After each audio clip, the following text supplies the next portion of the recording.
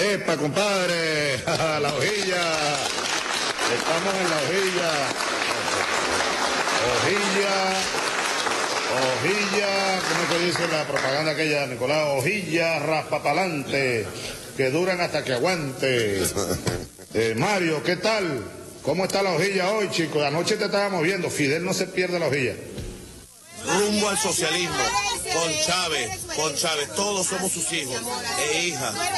El pueblo es el hijo de Chávez. Presidente, mensaje para la hojilla, para la continuidad de- La hojilla, la hojilla. Bueno, la hojilla es el programa más visto de la televisión venezolana, sin lugar a dudas. No lo digo yo, lo dicen los números. El programa con más credibilidad que hay. Y Mario Silva es un gladiador, amado por el comandante Chávez. Mario Silva, amado por Chávez. Valiente, gladiador, inteligente gladiador, él y todo su equipo. Así que honor a Mario Silva y a su programa La Hojilla, que en vida del comandante Chávez en este planeta, digamos, en vida terrenal, bueno, lo defendió con todo, pues, con todo, con los codos, con las uñas, con la verdad, con todo, siempre lo defendió. Gracias, Mario Silva, gracias, hermano. Bueno,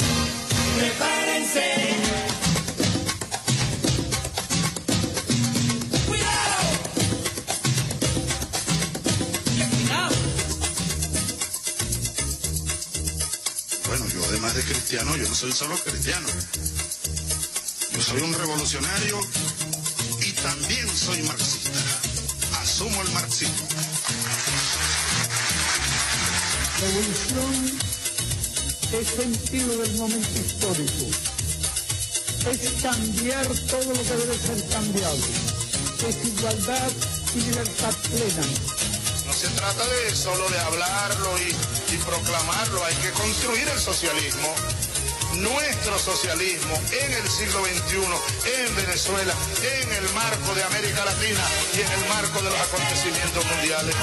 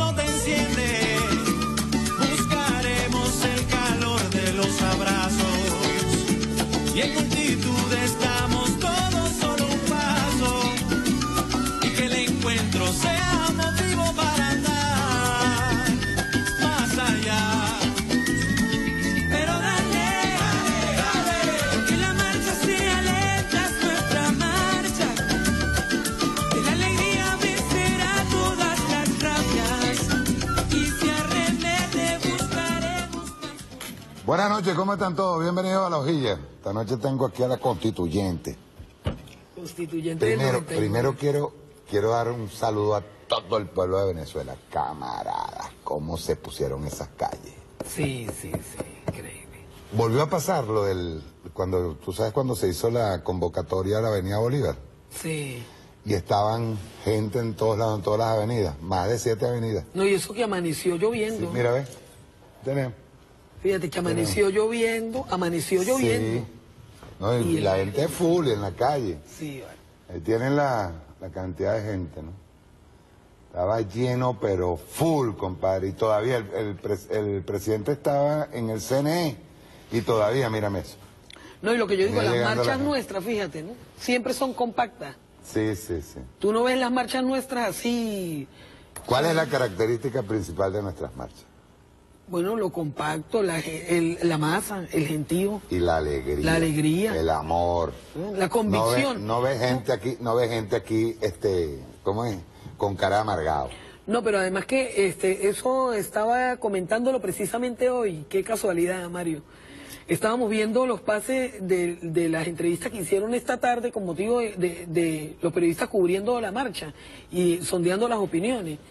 Y yo digo, bueno, qué conciencia tan enorme tiene el pueblo venezolano, ¿no? No hay a sabes- quien le pregunten que esté en una marcha, sabes, sea la tú sabes condición una que de las tenga. cosas bien interesantes que tienen. Mira, mira, mira. Tú sabes que yo siempre, ve, tú sabes que yo siempre que tengo la, siempre que hago un una, una comparación del pueblo del año 2004, cuando, perdón, 1994, cuando salió el presidente a la calle, después del, cuando sale de, de prisión, y las opiniones que daba a las opiniones que dan ahora, están claritos Sí. tan claritos en, la, en sus declaraciones, en todo. Hay una, una claridad, pero, pero meridiana con respecto a la, al, al trabajo que nos toca hacer, pues, porque no, no nos ha tocado, llevamos cuatro años ya llevando, pero lo que se dice, ya para cinco. Una arremetida. Una arremetida terrible. Y Pero bueno, así se forja el pueblo valiente, Sí, como los guerreros de la paz. Sí, señor. Nuestro comandante hablar- Maduro. Hoy sí me vas, a, me vas a permitir hacer algo. Quiero pasar dos videos. Primero, y después nos vamos a, a sentar a hablar ya en concreto de la Constitución. El paso histórico que se ha dado hoy. Primero que nada, quiero decirles algo. Y esto se lo participo incluso a los líderes de la oposición. Porque los únicos que no han asistido a la convocatoria ha sido la AMUD y Fede Cámara. Pero les anticipo. La convocatoria que hoy se entregó, el decreto que hoy se entregó en el Consejo Nacional Electoral, tuvo respaldo unánime del Consejo Nacional Así es. Electoral. No es que van ahora a agarrar y a cacerolearle a, cacerolearle a, a los, a los rectores del CNE. Unánime. Unánime. Cronograma electoral. Con cronograma electoral y todo. ¿Querían elecciones? Ya tienen elecciones y les tengo yo un video bien bueno. Vamos primero con, con una cosita que quiero pasar. Pásame el video de Trump, por favor. Ruédalo. Una noticia de última hora. Sigue creciendo la lista de funcionarios venezolanos en la nómina de sancionados por el Departamento del Tesoro de Estados Unidos. Y esta vez se suman ocho de los 32 magistrados del Tribunal Supremo de Justicia. El gobierno de Estados Unidos considera que Michael Moreno, el presidente de la máxima corte, junto a otros siete magistrados principales de la Sala Constitucional, Juan José Mendoza, Arcadio Delgado, Gladys Gutiérrez, Carmen Zuleta, Luis Damiani, Lourdes Suárez y Calixto Ortega, son responsables de una serie de sentencias judiciales que han usurpado la autoridad de la Asamblea Nacional democráticamente elegida, incluido un fallo que le dio permiso al Poder Ejecutivo para gobernar a través de decretos. El Departamento de Estado, junto al Departamento de Tesoro de los Estados Unidos, designaron sanciones contra ocho jueces del Tribunal Supremo de Justicia de Venezuela. Estas sanciones no están dirigidas al pueblo venezolano ni a la economía venezolana, sino a estos ocho jueces que han sido parte de las decisiones jurídicas que usurparon los poderes de la Asamblea Nacional. La Asamblea Nacional de Venezuela es elegida democráticamente y refleja la voz y la voluntad del pueblo venezolano. Estas sanciones representan el compromiso del Departamento de Estado y el gobierno de los Estados Unidos en apoyar al pueblo venezolano a proteger su democracia. Otra vez, junto a los otros socios de la región y países de todo el mundo, exhortamos al gobierno venezolano a liberar a todos los prisioneros políticos, a establecer un calendario electoral de inmediato, a respetar los poderes de la Asamblea Nacional y a aliviar la situación humanitaria de su pueblo. Los Estados Unidos seguirá trabajando dentro del marco de la Organización de Estados Americanos con nuestros socios para ver cómo podemos seguir apoyando a la democracia y las instituciones democráticas en Venezuela. Me agrada mucho saber que es una prioridad para el presidente Trump y su administración el tema de los derechos humanos y el respeto por la democracia en Venezuela. Y este anuncio hoy que, hay, que han sancionado a ocho miembros de la Corte Suprema de Justicia de Venezuela, incluyendo el presidente de, esa, de ese tribunal, envía un mensaje claro al pueblo venezolano que los Estados Unidos está firmemente de, de su lado. Esta administración, junto a la embajadora de las Naciones Unidas, Nikki Haley, eh, ha declarado claramente a Nicolás Maduro y a sus matones que sus acciones no quedarán impunes. Eh, el pueblo venezolano se merece un gobierno que respete la constitución y la regla imparcial de la ley y es la responsabilidad y el deber de las naciones del hemisferio, incluyendo los Estados Unidos, obviamente, de lograr un retorno a la democracia. Y este anuncio debe ser un mensaje alentador al pueblo venezolano que, que sepan que, que estamos con ellos, que no están solos. Y sigue siendo mi esperanza que más adelante el presidente Trump va a imponer aún más sanciones como sean apropiadas. Venezuela era un país muy adinerado, casi el país más adinerado en tu barrio del mundo. y tenía muchísimas fortalezas. Hoy en día es un país pobre, no tienen que comer. Hay mucha violencia, así que haremos todo lo que sea necesario y trabajaremos de la mano para lograr lo necesario para resolver la situación. Y a un nivel humanitario, cuando consideramos las reservas de petróleo, la riqueza potencial que tiene Venezuela, uno se tiene que preguntar por qué está sucediendo esto, cómo es posible. Pero el país ha estado en muy malas manos por mucho tiempo. Esperemos que eso cambie y, y que puedan usar sus recursos para bien y para cuidar de la población. Y son varios los temas que se han tocado entre Rusia y Venezuela en las últimas horas, sobre todo en el tema de cooperación. Hablaba el presidente Nicolás Maduro que se sigue afianzando la relación de hermandad entre Rusia y Venezuela, pero también la cooperación en negocios, en materia de armamentos y también en una materia muy sensible para Venezuela como es el trigo. Sí, decía que Rusia va a suministrar 60.000 toneladas de trigo de manera periódica, de manera mensual, a partir de este momento para que Venezuela pueda abastecer a sus panaderías, a sus establecimientos de esta naturaleza, de la materia prima de la harina de trigo. Y sobre petróleo también acordaban ya eh, o manifestaban nuevamente la voluntad política de renovar ese importante acuerdo histórico de Viena. Bien. Ahorita me vas a dar tu opinión, ¿verdad? Porque creo que nosotros vamos a tener que, que ir corriendito, mover la colita, y entonces en el referéndum vamos a poder a poner allí. ¿Cree usted que sería bueno tener de presidente al señor Donald Trump y convertirnos en Estado asociado? Porque nos están dando órdenes, ¿verdad? Nos están dando Bueno, le órdenes. están dando órdenes a Julio Borges, que que va y Sí. se arrastra allá. Es una ofensa para todos nosotros. Sí, no, y es una ofensa por todos lados. El tipo, el tipo dice, no, que tienen tanto, tanto petróleo. Ahora, ustedes preguntarán, ¿por qué yo puse ese video? El martes pasado, yo hice una aclaratoria aquí, no voy a, no voy a repetirla, ni mucho menos. Y dije una frase, la voy a repetir hoy. El miedo preserva, pero la cobardía es mala consejera. A buen entendedor, pocas palabras. Justo en el momento, fíjense bien esto, vean para que ustedes vean cómo en los momentos históricos, los que se van a secar, se van a secar, y los que vamos a triunfar, vamos adelante, damos un paso adelante. No voy a dar señales, yo sé que la persona de la que estoy hablando me va a entender perfectamente. Justo en el momento en que el presidente Nicolás Maduro está llevando al CNE la convocatoria para hacer lo que era la- la- el cronograma electoral y, La la- base y las, bases, las bases comiciales. Justo en ese momento sacaron un video. Y me da risa porque quien aparece, porque soy igualito, te dicen un tipo que está casi que retirado y aparece, por ejemplo, por ejemplo, vea un ejemplo, aparece alguien diciendo que es oficial activo de la Fuerza Armada Nacional Bolivariana y se está pronunciando contra el presidente. Tú dices, coño, qué cosas, ¿no? Justo en el momento en que el presidente está, eh, está elevándose en un momento histórico, porque hay que decirlo, el presidente Nicolás Maduro s- se ha ido elevando como un estadista en un momento histórico. Aparece un bolsa, uniformado de otra manera, entonces dándole recomendaciones al presidente. Lo terrible es que está en bolsa, fíjense bien, está en bolsa, y hay que decirlo, porque yo no me voy a poner aquí con respeto, y menos con ese tipeo.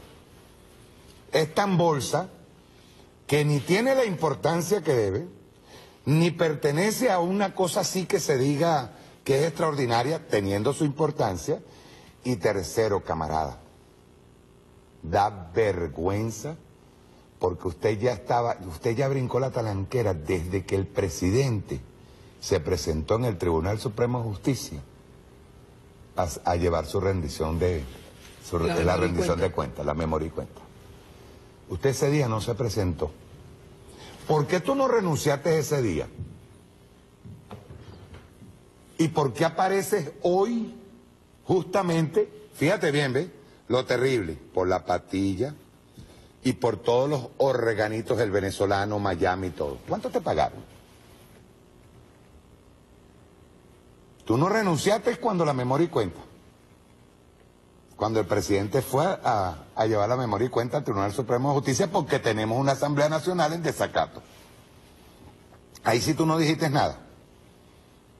No fuiste, no te presentaste.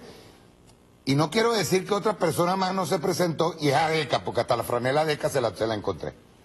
Pero no importa, no importa. El tema político en este momento no importa. Pero lo que, lo que da asco, compañero, asco, es que usted se presente hoy, justamente hoy, y haga, salga al mundo. Se me parece, chico, cómo se me parecen a esas, a esos pronunciamientos que son como muy oportunos, ¿verdad? Sí, sí. Como muy oportunos. A veces, yo una vez dije, coño, que a mí nunca me van a ver sentado en Globovisión. Fíjate, el mismo Gorrín, voy a decirlo así con, con y señales, el mismo Gorrín, dueño de Globovisión, Gorrín y un tal Barbosa, no recuerdo el, el apellido de él. El mismo Gorrín y Barbosa, cuando compraron Globovisión, jalaron la bola que jode para adquirir la, la concesión televisiva. De repente, y lo están haciendo, en este momento, ponen micros que hablan de la libertad, tú sabes, micros subliminales, este, en un país en donde vamos a ganar y cosas así por el estilo. Pero lo peor de todo es que le acaban de hacer a Gorrín en Miami, en plena cacería de brujas, se presentó un canal a sacarle que es un Bollywood gay. ¿Qué te dice eso, papi? Nadie que haya estado en la revolución va a ser perdonado por esta jauría de lobos. Eso es mentira.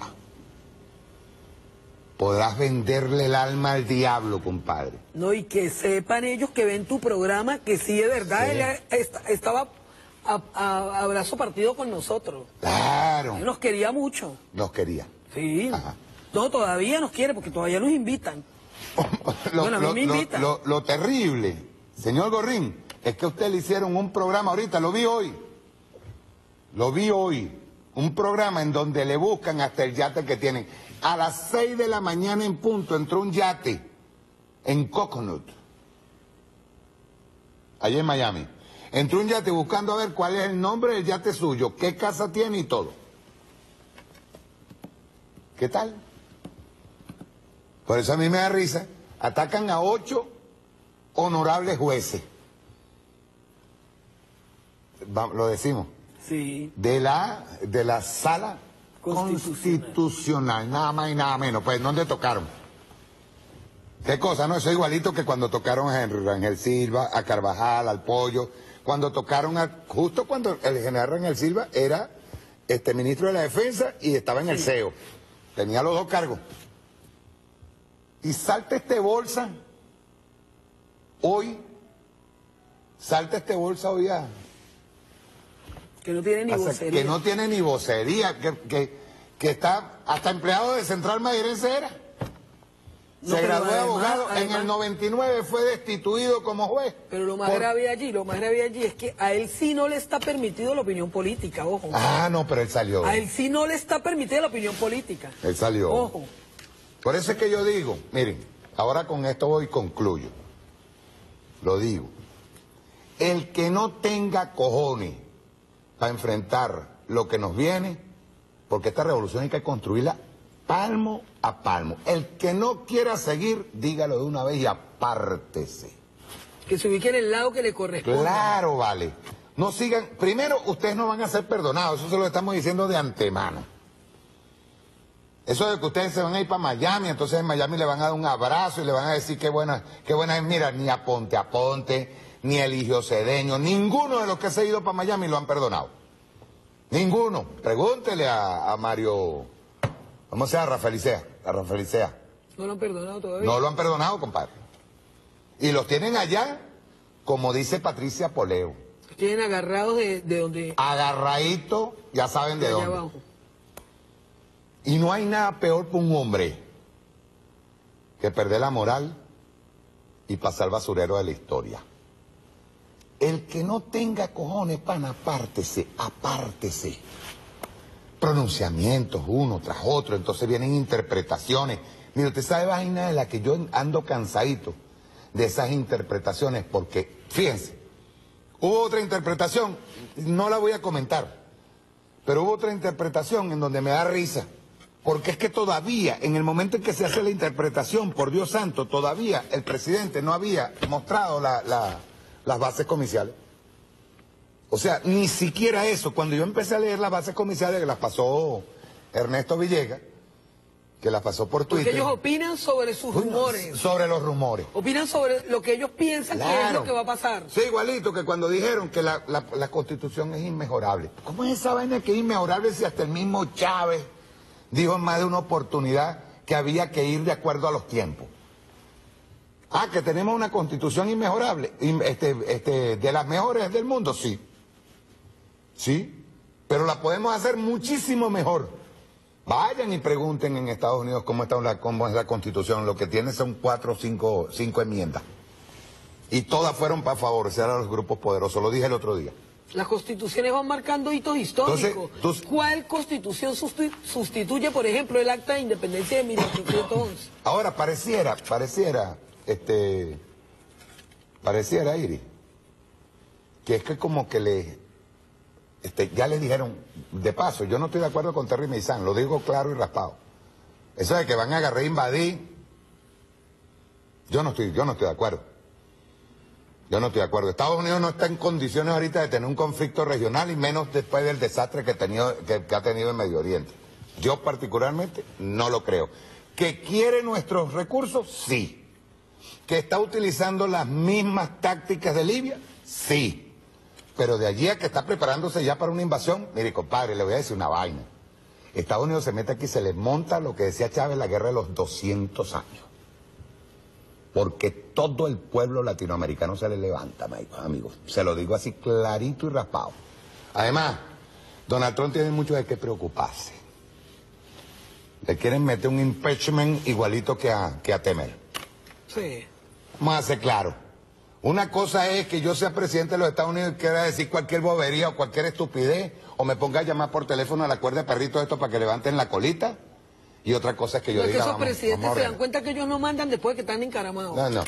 Ahí manda el, Pentágono. Montarse, un conflicto en el hemisferio aquí, que esto no es Medio Oriente, montarse un conflicto aquí sería levantar todos los pueblos en Latinoamérica. Eso no le conviene a Estados Unidos para, para nada.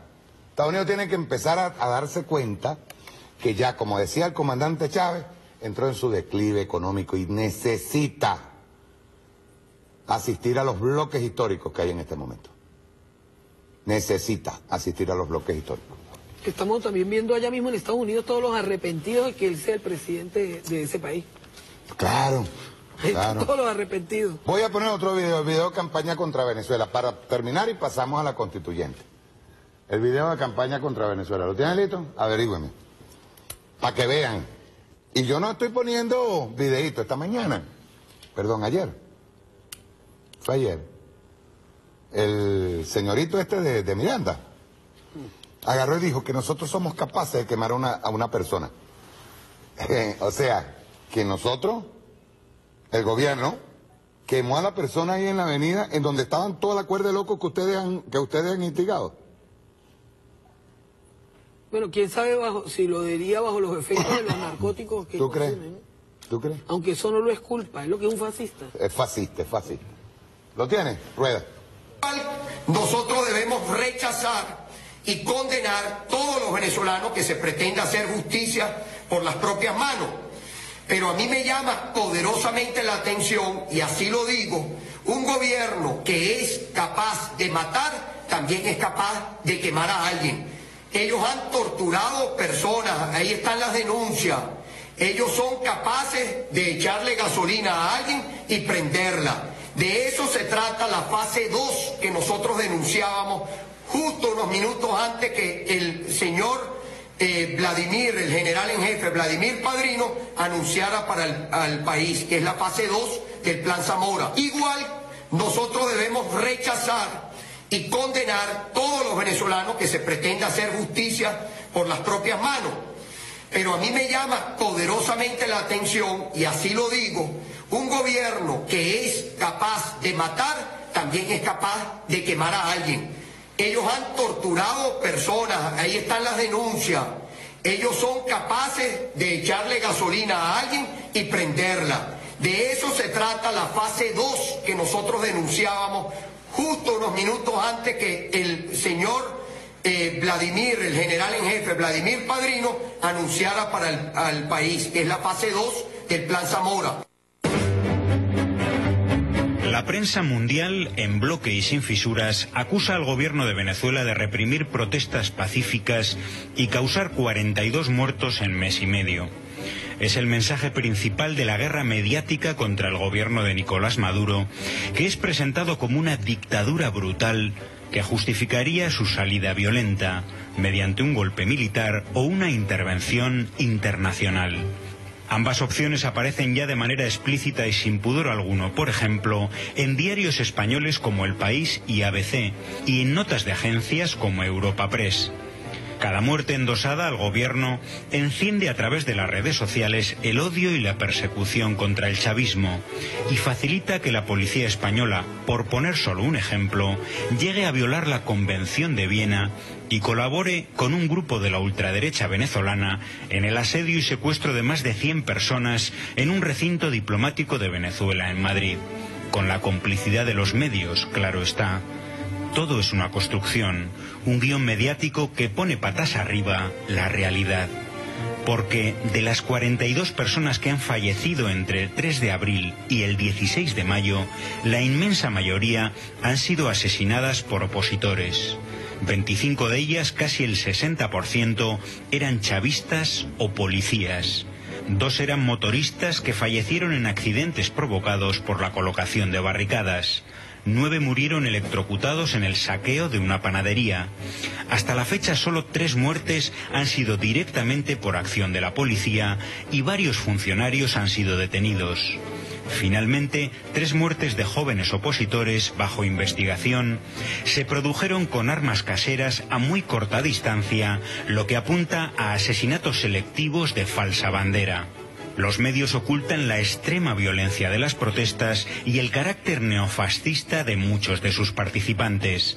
A pesar de ello, el presidente Nicolás Maduro ha dado orden taxativa de que la policía en ningún caso porte armas de fuego.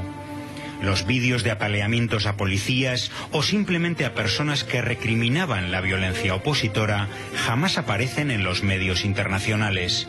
Tampoco, curiosamente, el linchamiento de periodistas, ni el ataque o quema a viviendas de chavistas, sedes de partidos que apoyan al gobierno y bienes públicos de todo tipo, incluso un hospital materno, consultorios médicos o bibliotecas. Los medios silencian que los focos de protesta se reducen única y exclusivamente a unos pocos municipios de clase media y alta del país, donde las alcaldías opositoras ponen al servicio de las protestas su policía local e incluso sus camiones de recogida de basura. En lugares como Barquisimeto han llegado a esparcir los desechos que luego son quemados en la vía pública. Existen imágenes de todos estos sucesos que no han interesado a ningún canal internacional. Los medios no informan sobre Venezuela. Su cometido es preparar a la opinión pública para que ésta justifique o al menos se quede inmóvil ante una intervención internacional en Venezuela, como en Libia. Para evitarlo es necesaria una intensa y valiente movilización solidaria preventiva y la denuncia contundente del papel de estos vulgares propagandistas de la violencia y el terror. Fíjense, ese es para mí el resumen mejor que explica todo el ataque contra, contra Venezuela. Lo hizo Cuba Información. Excelente. Excelente. Yo recomendaría que se lo pasaran en cadena nacional. Pero bien I- definido. Igual como lo- los videos que ha mostrado la canciller desde el despacho de la Cancillería. Son buenísimos también y desmontan toda esa matriz internacional. Porque efectivamente lo que están haciendo es montando los falsos positivos, ¿no?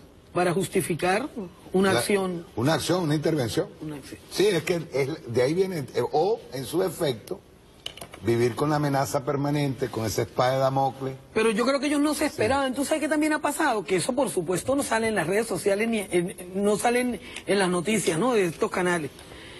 La solidaridad que se está despertando de manera espontánea. Incluso a, allá. A Venezuela, en las embajadas venezolanas en todos los países. Chacho, en España se ha despertado. Europeos y latinoamericanos. En Chile. En Chile, en Bolivia. En Chile. Chile. Y, y los acusan de comunistas en, la, en, la, en los noticieros. Comunistas atacaron a venezolanos que iban a, a protestar frente a Embajada de Venezuela en Chile. Señor, está la gente clarita. los que- chilenos dándole además una lección de democracia a esa gente. Dicen, ustedes no saben lo que es una dictadura. Ustedes le, le- ¿Quién le dan- más que un chileno? Así es. ¿Quién más que un chileno? ¿Quién más que un argentino? ¿Quién más que un uruguayo? ¿Quién más que un español? No, tiene Para mucha hablar de dictadura. porque por mucho que quieran lo- los medios montar su, su realidad virtual, hay una realidad real que se expresa en las calles. Ellos dicen miles de manifestantes contra Maduro. Ah, y los millones que hemos salido a marchar respaldando al gobierno. Lo terrible Y es... que salimos todo el tiempo. o sea, y, y además que lo hacemos con mucha conciencia. ¿m? Que no caemos en provocaciones. Yo creo que, mire, esa decisión del presidente que lo dice este analista. La decisión del presidente de retirar las armas de, de- fuego para reprimir manifestaciones, ¿no? Para el control de las manifestaciones. Además, es un derecho que tiene todo Estado. O sea, todo, todo gobierno tiene el derecho a defenderse. Eso es, está regulado, ese, para eso es el Estado, para eso tiene la autoridad, para eso tiene el ius puniendi, ¿no? Para eso tiene la autoritas. Entonces, de todas maneras, como sabemos lo que hay aquí. Como sabemos que lo que andan buscando es el baño de sangre, ¿no? que no les importa, fíjate, ahí está la relación de los muertos, que todos nos duelen. A mí me duele muchísimo la muerte de todos, incluyendo la de esos muchachos Sí. ah, que han estado del lado equivocado de esta historia, marchando con eso, con esa jauría y con esa hiena fascista. ¿ah? Que po- localizan. Claro, son, son asesinatos selectivos. Selectivos, exacto. Son asesinatos selectivos porque eso es parte del expediente. ¿no? Y, y ellos lo han colocado. No, y hay una Entonces, cosa- y- Pero como el presidente quita, este, prohíbe pues el uso de, de esas armas y solamente se, se controlan esas manifestaciones con agüita y gas, ¿no? entonces eso los desencajó. Porque ellos no han podido montar en la escena que quieren de la mortandad. No han podido porque no hayan de dónde sacar el video. Por eso es que aparece el muerto. Tampoco, y entonces tam- ellos tampoco, empiezan a decir, tampoco no, la- las multitudes de movilización. no, y, a- y ellos empiezan de una vez con, con, con la, con la laraca, ¿no? No, lo mataron, este, lo, lo mataron, lo mató el régimen, lo mató el la régimen. posverdad. ¿Quiénes han estado metidos en esas manifestaciones? ¿Ah? ¿A qué distancia? ¿Con qué armas? Ahí están las autopsias. Mm. ¿no?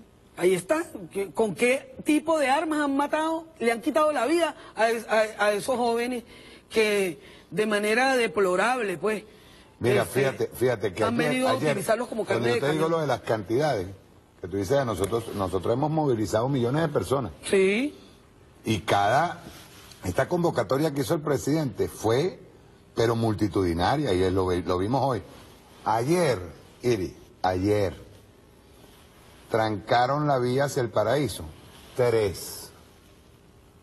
Tres carajitos. Tres. Esto no es.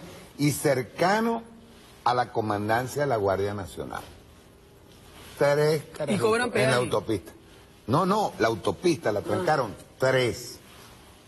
Entonces tú ves que los distribuyen, tres aquí, tres allá, tres allá. Mira, demasiado bueno ha sido el presidente. Demasiado bueno ha sido la Guardia Nacional. Demasiado buena ha sido la Policía Nacional Bolivariana. Que hasta llega un momento, Iris, en que los ven hasta como pendejos. Que eso es lo terrible.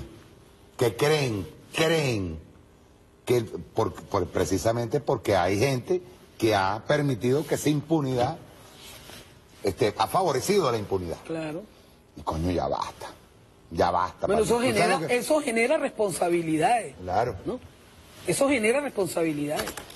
Bien, Aquí vamos a quien, entrarle, vamos a quien entrarle. no ve lo que aquí está pasando, ¿Quién- que además está quedando todo registrado para la historia.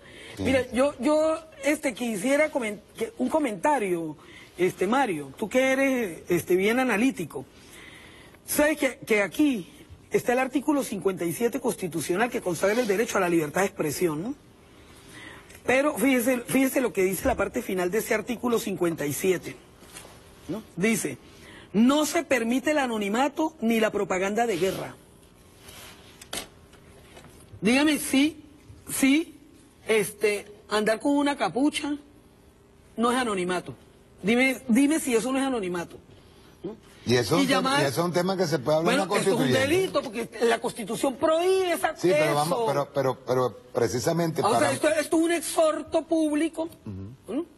una petición que lo hago como ciudadana de este país, que quiere la paz, al Ministerio Público, porque el Ministerio Público no es capaz de aplicar aquí, eh, que ejerza la acción penal. ¿vale? ¿Mm? ¿Cuál es el silencio del Ministerio Público? ¿Mm? Hay mucho silencio del Ministerio Público y el silencio también a veces es complicidad con la delincuencia. Porque Pues la- es la que, la que, la que Es un faci- silencio cómplice. facilita la impunidad. Así es. Ok, ahora vamos a entrar a la constituyente. Yo tengo un videíto, Ese es el tema. tengo un videíto del año 2015. Por favor, le pido a BTV que después, se lo pido por favor, que después de transmitirlo, lo publiquen de inmediato en Twitter. Tengo un videíto del año 2015 cuando ellos estaban pidiendo constituyente, ¿te acuerdas? Sí, claro. Ajá, pero hay una frase que dice el señor Freddy Hasta, hasta el año pasado ellos pidieron constituyente. hasta el año pasado. Sí, sí, cuando andaban, ¿no? este, se les caía el revocatorio, el mismo, ¿cómo se llama? Cuando empezaron a darle laxos a- a- al presidente para sacarlo del poder. el mismo Henry Ramos dijo, Ah, sí. nosotros decidimos por revocatorio, pero realmente íbamos por la constituyente, ¿verdad? Porque ellos necesitaban la constituyente y tú te vas a dar cuenta Sí, para qué. sí, sí, sí, La necesitaban para qué, muy diferente a lo que vamos a hacer nosotros. ¿Ok? Así es. Bien, pero quiero que graben una frase que dijo allí Freddy Guevara. Frase excelente que queda para la posteridad. Estamos hablando del año 2014-2015, cuando ellos pidieron la constituyente. ¿Querían elecciones? Vamos a verlo, Rueda. El jefe del porro. Porque una constituyente. Tú necesitas una constituyente para cambiar la constitución. Una constituyente para refundar el país y cambiar el modelo político, económico y social en el que estás. Que se expresa en una constitución, que es algo distinto. Entonces, una constituyente es un proceso en el cual eh, todo un pueblo sale a refundar el país y delega, elige a unos representantes que son los encargados de hacer eso. Nosotros, en ese sentido, te haría el segundo planteamiento. Nosotros estamos absolutamente convencidos de que la mayoría del pueblo venezolano quiere un cambio y que ese cambio no lo ve reflejado, no solamente en Nicolás Maduro, sino en el partido del PSV. Estamos convencidos de eso. No solamente porque lo sentimos, sino porque lo hemos visto en las calles y lo hemos visto en las encuestas. Hoy, todas las encuestas indican eso. Esos estudios nos indican que no con los resultados de hoy, sino incluso con los resultados anteriores en el promedio, salimos victoriosos en una opción democrática, pero que también le da espacio al oficialismo, que no para que pueda cambiar todos los elementos, pero que también para que tenga una representación. Porque en una constituyente, en un nuevo país que necesitamos articular, porque este modelo fracasó, ellos necesitan ser incorporados. Pero lo que no podemos es medirnos por el miedo. Y lo digo porque, porque es que esta no es una lucha que se puede medir solamente bajo la lucha de la supervivencia. Aquí capaz estamos nosotros resignándonos a pensar que podemos ir sobreviviendo poco a poco. Y lo que estamos es simplemente arrastrando la ruda de un proceso que vendrá tarde o temprano. O es que ellos no han cambiado ya toda la constitución, o ellos no es que de hecho no han hecho no sé cuántas sentencias, creo que van más de 30 o 40 sentencias de la sala constitucional que interpretan y cambian artículos de la constitución ya de hecho, perdón, de derecho. No han hecho por su propia acción cambios constitucionales también sin tenerlo escrito. Entonces, de esto no se trata, es como que si nosotros plantear que jóvenes que pueden cambiar la cosa, es que ya no lo están haciendo, es que ya no le han pasado por encima de la constitución, es que ya no han hecho todo lo que quieren hacer sin importarles este planteamiento. El hecho es que ese riesgo existe, eh, perdón, ese riesgo no es que existe, es que ya está pasando hoy en día. Ya la cúpula que tiene secuestrado al Estado venezolano ha convertido al país en un modelo muy cercano al comunismo. Eh, que podrían escribirlo. Bueno, evidentemente es un riesgo y nosotros no podemos decirte que no lo, no lo hemos sopesado. Pero una situación de este tipo requiere audacia. Y requiere audacia también con inteligencia.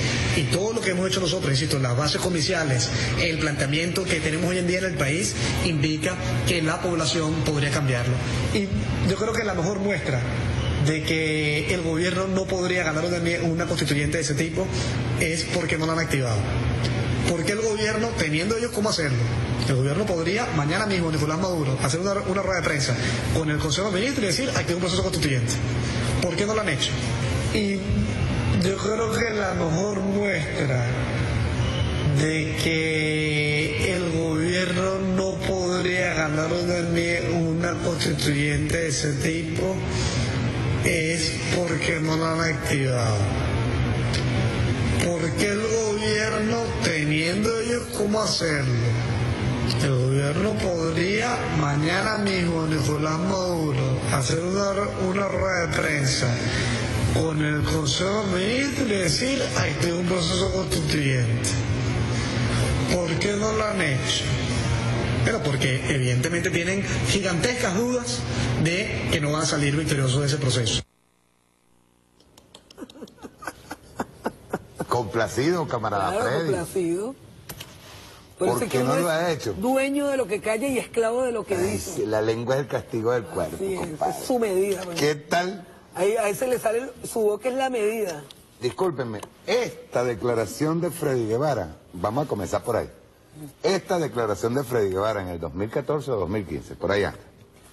Esta declaración hecha por tierra todos, todas las negativas de ellos, de que Y todo el Nicolás no- pataleo de que- última hora. de que el presidente Nicolás no podía, no podía convocar a la constituyente. No, nosotros siempre hemos estado claros que sí lo puede convocar. Con el 348, sí, pero es que, es que ah, mira, cómo hay gente que olvida el 348. Sí, a conveniencia. Le pasa por encima. Pasan del 347 directo al 350. Pero es que no puede haber un 347 solo. Porque el 347 simplemente es la consagración de ese derecho que es el poder originario. Pero tú tienes que canalizarlo. Tú tienes que decir, eh, tienes el, el- el poder constituyente, ti- tiene que, de qué manera se expresa, cómo se convoca. Se convoca como establece el 348. Ahora vamos a comenzar en firme. ¿Y cuál es su alcance? 349. Aquí vamos y en el mismo firme. 347 también. Aquí vamos en de- firme. Ellos hablaban de cambiar la constitución porque el modelo es fracasado. Ojo, ellos siempre han dicho que nuestro modelo fracasó. Resulta que la constitución nuestra es un modelo adelantado que ellos quieren cambiar, quieren retroceder, ¿cierto? Cambiar el modelo político-económico. ¿Hacia De repente dónde? yo lo que les puedo decir, lo que le, le puedo dar la razón ahí en que es fracasado para ellos, Claro. para los intereses que ellos tenían, para los intereses que ellos amasaron. ¿no? Tal vez este pendejo no, porque este pendejo es uno que viene de última hora y jalándole a todo el mundo, ¿no? O sea, yo no sé cuál será su liderazgo ni a qué grupo de poder él estará A mí lo, vinculado. lo- pero, pero lo yo sí interesante, sé, ojo, lo interesante de esta declaración es que eso lo discutieron. claro, Eso lo discutieron. Si Nicolás no la convoca, vamos a convocarla nosotros. Sí, ellos estaban embriagados con la mayoría circunstancial que ellos lograron acumular para la Asamblea Nacional. Ellos se embriagaron con eso. Y de hecho, por eso que no quisieron elecciones de ningún tipo. Ellos querían era este o constituyente o revocatorio. Ellos no querían elecciones. El año pasado no quisieron elecciones. Quisieron revocatorio, pero después ellos mismos se echaron al pajón. Ellos mismos dijeron, mire, revisen porque las firmas son chimbas. Y cuando yo me fui a buscar la firma, a mí me dijeron, mira, parece que los privados de libertad firmaron. Yo, ¿cómo es la cosa? Si en ninguna cárcel se recogieron firmas. Me fui a buscar y resulta que conseguí 1.300. Por cierto, Ministerio Público, estoy esperando respuesta de las 1.300 firmas falsas que llevé para allá. Yo llevé la prueba. Pero ha habido silencio del Ministerio Público. Vamos a comenzar entonces. Nicolás Maduro, presidente de la República, hoy 23 de mayo presenta las bases comerciales. No, que... Repito, repito, la noticia, el tubazo, el tubazo, fue aceptado unánimemente por todos los rectores del CNE. Los rectores y rectoras. Rectores y rectoras del CNE. Del Poder Electoral de la República Bolivariana de Venezuela. ¿Mm? Por unanimidad. que estaba recordando que hubo una reunión por ahí, pero bueno, está bien. Por unanimidad eh, se acogen la... Ah, no querían elecciones, tienen elecciones, es más Y además se, dicta, se anuncia, porque lo, dijo la doctora Tibisay Lucena hace rato, la estaba escuchando, este, están convocando elecciones regionales para el 10 de diciembre. 10 de diciembre. 10 de diciembre, o sea, ya tienen fecha de elecciones. Tienen fecha de elecciones, este, tienen la fecha de elecciones para la constituyente y tienen fecha de elecciones. Y en la constituyente, la constituyente son unas elecciones generales. Porque el poder que van a tener esos constituyentes, bueno, se lo da la Constitución, eso es poder originario. ¿Mm? El pueblo allí, eligiendo a sus representantes. ahí tienes el, decreto, ¿no? Con las bases. En las bases. Vamos a empezar. Es bueno... Vamos a irla leyendo uno por uno. Dice aquí, este, los considerando lo dejamos aparte, vámonos con la, con, con la, el decreta. Las bases comerciales. a mí todo el mundo me llama y me dice, mira, yo me puedo postular. Yo digo, claro, si cumples con los requisitos exigidos. Por cada municipio pueden postular dos, eso es en principio. ¿no? Cumpliendo con los requisitos que establezca el Consejo y ahorita, ahorita vamos a decir cuándo. Y ahí están en las bases comerciales, está la orientación. Sí, aquí se decreta, después lo considerando, las bases comerciales para la Asamblea Nacional Constituyente convocada según el decreto número 2830, coño, van a tener elecciones, pero mire, la, oposición venezolana no esperaba tantas elecciones en un año, porque es la constituyente y tiene las regionales. Olvídense de las presidenciales que no tocan. Olvídenlo. De fecha primero de mayo de 2017, publicado en la Gaceta Oficial de República Bolivariana de Venezuela número 6295, extraordinario la misma fecha. Primero, los integrantes de la Asamblea Nacional Constituyente serán elegidos y elegidas en el ámbito territorial y sectorial, creo que lo explique, ¿verdad? Mediante el voto universal, directo y secreto sin perjuicio de los y las integrantes de los pueblos indígenas que serán elegidos y elegidas de acuerdo a sus costumbres y prácticas ancestrales, amparado por los artículos 119 y 125 de la Constitución de la República Bolivariana de Venezuela. Los sectores comprenden, uno, trabajadores y trabajadoras, dos, campesinos y campesinas y pescadores y pescadoras. Tres, los y las estudiantes. Cuatro, personas con discapacidad. Cinco, pueblos indígenas. Sexto, pensionados y pensionadas. Séptimo, empresarios y empresarias, que, se tiene que presentar alguien de los empresarios. Y octavo, comunas no, y hay mucho emprendedor, empresario, muchísimo. Ahí hasta un consejo presidencial empresarial. falta de cámara, pues yo quiero, ver qué es lo que pueden ellos exponer. No, ellos mismos me explicaban que ya fe de cámara no representa ni el 5% de, eso, de ese empresariado. Sí, es verdad. Ok, explícame el primero. Son los nuevos liderazgos. Mira, dos ámbitos, ¿no? El, territorial y el sectorial. Y dicen en la base, yo creo que esa base hay que leerla bien porque está suficientemente explicada, ¿no? Hoy me, me preguntaba a mí un muchacho que se quiere postular después estábamos viendo en la tarde, estábamos analizando y él me decía, mira, pero yo tengo una duda, ¿cómo hago yo si yo me quiero postular por el, por el sector cultura? Este, yo soy artista, pues yo me quiero postular, pero entonces, este, ¿cómo hago? O sea, ¿quién va a votar por mí? ¿De dónde están mis electores? Bueno, para eso el Consejo Nacional Electoral tiene que validar los registros. Entonces se abre la circunscripción sectorial en base a los registros, porque tiene que ser del universo de cultores y cultoras, de artistas, de, lo- de- de los trabajadores de esa Organizados, área, por que están organizados y registrados. Pues son registros universales, por ejemplo. A, a mí que, que no me venga alguien que no sea un trabajador a tratar de votar en, en- porque los trabajadores están en el Instituto Venezolano de Seguro Social, hay un registro universal. Exacto. O sea, ¿qué trabajador aquí no está inscrito allí en, en- en ese, en el Seguro Social? Todo. Todos los trabajadores de la patria estamos allí. ¿no? Eh, los pensionados, igual hay un registro universal de los Que este es, pensionados. de los- pensionadas es uno de los país. sectores de, de los de los sectores, De los que pen- pensionados y pensionadas. Las personas con discapacidad también tienen un registro universal. ¿Qué pasa? Que esos registros, bueno, yo supongo, en este momento, ya entregadas las bases al Consejo Nacional Electoral por parte del presidente, el Consejo Nacional Electoral es el árbitro. Ellos ahorita vienen y van, em- empezarán a explicar. Estas son las bases comerciales. Empezarán a llamar en base a este planteamiento del presidente. El Consejo Nacional Electoral da la respuesta para que eso tenga aplicación porque ellos son el árbitro de- del país. Es a quienes compete organizar y dirigir los procesos electorales, aquí sea cual sea ese proceso electoral. Y una pregunta, Iri, ya tomando en cuenta los los los sectoriales. Pero en, el- te- en, en todas las bases, si tú lees las bases, ahí está la explicación, pues. La explicación, es decir, este, yo tengo que votar, por ejemplo, por- en el municipio de San Cristóbal, ¿no? O que me toque que votar aquí en Caracas, dependiendo si donde yo donde yo aparezco inscrito, si yo hice cambio de domicilio electoral. Entonces se revisa, este, yo yo me imagino, pero eso lo tiene que explicar el Consejo Nacional Electoral, ¿no? Yo imagino que está la huella dactilar y está el cactahuella, ¿verdad? Exacto. Y uno con la huella, uno activa el voto. Yo supongo que los registros validados, si yo voy a votar por un sector, mi huella activa la máquina para el voto sectorial. Exacto. ¿Me entiendes? Y, el puedo elegir el territorial? sector. El territorial igual, como se hace en todas las elecciones. ¿no? Mi, mi, mi huella activa la máquina y yo puedo votar con el cactahuella. No, pero eso, eso lo tiene que hacer, el, eso lo explicará suficientemente el Consejo Nacional Las mismas misiones, las mismas misiones son, son organizaciones, o sea, son prácticamente, ahí hay organizaciones populares, Claro, organizaciones el Consejo están- Nacional Electoral ahorita recaba los registros y garantiza la universalidad del voto del sector.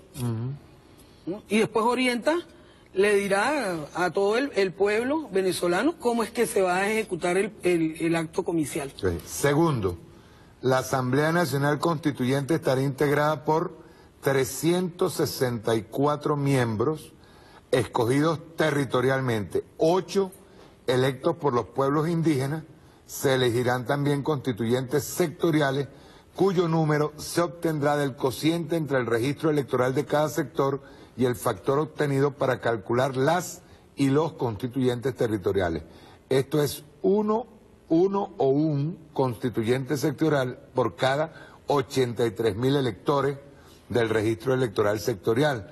La Asamblea Nacional Constituyente tendrá una conformación unicameral y solo se elegirán representantes principales. Sí, bueno, yo en, en ese aspecto de verdad que no, no tengo mucha experiencia en lo que es técnica electoral, ¿no? Pero este, creo que si uno se sienta a revisar, por eso yo digo, está, está bien explicado. Lo que hay es que sentarse a digerirlo, ¿no? No, no, y, y esto forma Porque parte de la tiene una, discusión una ahorita. base, una base de registro que es el 80 y- 83 mil votos, ¿no? Ujú, Territoriales. ujú. Si vuelve a leer esa parte. Te leo. Dice, y el factor obtenido para calcular las y los constituyentes territoriales, esto es una o un constituyente sectorial por cada 83 mil electores del registro electoral sectorial. La Asamblea Nacional Constituyente tendrá una ¿Viste? Registro electoral, electoral Sí, sectorial. sí. Claro, aquí, el sector, aquí ya, aquí ya porque es el- sería- el, Eso es igualito como, como debe pasar con, lo, con la elección de los pueblos indígenas. O sea, no, no puede estar todo el mundo eligiendo a los indígenas. Los indígenas lo tienen que elegir los pueblos indígenas. Exacto. Y lo mismo tiene que pasar con todos los con sectores. los sectores. Tercero, en el ámbito territorial se producirá la elección de 364 constituyentes a la Asamblea Nacional Constituyente conforme a la siguiente distribución. Un o un constituyente, un o una constituyente por cada municipio del país que será electo Déjame pasarlo acá. Ajá. Que será electo de forma nominal de acuerdo al principio de representación mayoritario y dos constituyentes en los municipios capitales que serán electos o electas mediante la modalidad lista. Ah, bueno, esa es la representación proporcional de la minoría. De, acuer- de acuerdo al principio de representación proporcional, dice. En el municipio Libertador de Caracas, capital de la República Bolivariana de Venezuela, se escogerán siete constituyentes mediante la modalidad lista de acuerdo al principio de la representación proporcional. Y dice aquí que lo leyó el presidente ahora en la tarde, entidades, distrito capital tendrá Sí. siete en total, siete listas. Uno de los que más tiene el Estado Táchira. Sí. Anzuategui, Por la cantidad de 22 en municipios. total, 20 y dos listas. Claro. 20 nominales, dos listas. Apure, 6, dos listas, 8. Aragua, 18. Perdón, tiene 17 nominal, dos listas. Tiene 18 municipios. O sea, va de acuerdo a los municipios. Este, total 19. Barinas, 11 y 2. Estamos hablando nominal y lista, ¿verdad? Sí. 13. Este, Bolívar. O sea, lo que pasa es que eso en, lo- en las capitales se elige uno Ujú, por lista. Exacto. Uno. O sea, el del municipio, que es el del el territorial, Ujú. más uno por lista. Más uno por lista. En capital. Por eso es que en Táchira corresponden 30. Porque Táchira tiene 29 municipios. Ujú. Entonces, este. Viene aquí, ve. Bolívar, 10 y 2, 12. Ujú. Carabobo, 13 y 2 y 2, 15. Cojedes, 8 y 2, 10. Falcón, 24 y 2, 26. Guárico, 14 y 2, 16. Lara, 8 y 2, 10. Mérida, 22 y 2, 24. Miranda, 20 y 2, 22. Monaga, 12 y 2, 14. Nueva Esparta, 10 y 2, 12. Portuguesa, 13 y 2, 15. Sucre, 14 y 2, 16. Táchira, 28 y 2, no sé, en Ta- 30. Táchira hay 29 municipios. Dice aquí, espérate, vamos a ver por acá. Son 29 municipios que tiene el Táchira. Aquí dice Táchira, 28, perdón, 29 municipios, 28 nominales, dos listas. Dice aquí. 30 en total. Porque están dándole dos a San Cristóbal. Sí, sí. Trujillo, De todas 20 maneras, el- el, municipios. estado que tiene más Sí. constituyentes. 19 y 2, 21. Yaracuy, 13 y 2, 15. Zulia, 22, 22. Amazonas, 6 y 2, 8. Del Tamacuro, 3 y 2, 5. Y Vargas, que tiene un solo municipio, son dos, este por lista. Parágrafo único. Los pueblos indígenas estarán representados por ocho constituyentes electos o electas de acuerdo a la previsión reglamentaria que al efecto dicte el Consejo Nacional Electoral y tomando como base el mismo mecanismo de respeto a sus costumbres y prácticas ancestrales. Establece la Constitución. De la misma manera que se realizó para escoger los y las representantes de los pueblos indígenas en la Asamblea Nacional Constituyente de 1999 y en consideración a los artículos 119 y 125 de la Constitución de la República Bolivariana de Venezuela. Perdón. Se me fue otra vez. Ajá. El derecho de participación aquí previsto atenderá a la pluralidad de pueblos indígenas existentes en las distintas regiones del país. Cuarto, en el ámbito sectorial se producirá la elección conforme a la siguiente distribución. Los campesinos y campesinas y pescadores y pescadoras, las personas con discapacidad, los empresarios y empresarias, los pensionados y pensionadas, los y las estudiantes y los trabajadores y trabajadoras serán electos y electas en listas nacionales de acuerdo al principio de representación mayoritario y los representantes y las representantes de comunas y consejos comunales se escogerán regionalmente de acuerdo al principio Claro, porque- de representación mayoritaria. Porque las comunas están en todas las regiones del, del país, en todos los estados. No así este, los pescadores, por ejemplo, aquí en Chacao no hay pescadores. Claro, claro. A menos los no hay pescadores. Pues aquí en Chacao no hay pescadores, ni hay campesinos tampoco aquí en Chacao. No, yo no sé si... Ahí no lo que hay es guanimbero. Ahí lo que hay guarimberos, sí, pero esos no van. esos no van. Quinto. No querían elecciones generales. Bueno, tienen. Ahí tienen elecciones. Pues quieren elecciones, lleven elecciones. Yo creo que hoy deben estar así como en la escuelita, tratando de, vamos a aprender, vamos a ver qué hacemos aquí para poder tener esto, porque esa- igualito lo hicieron en el 98. Sí.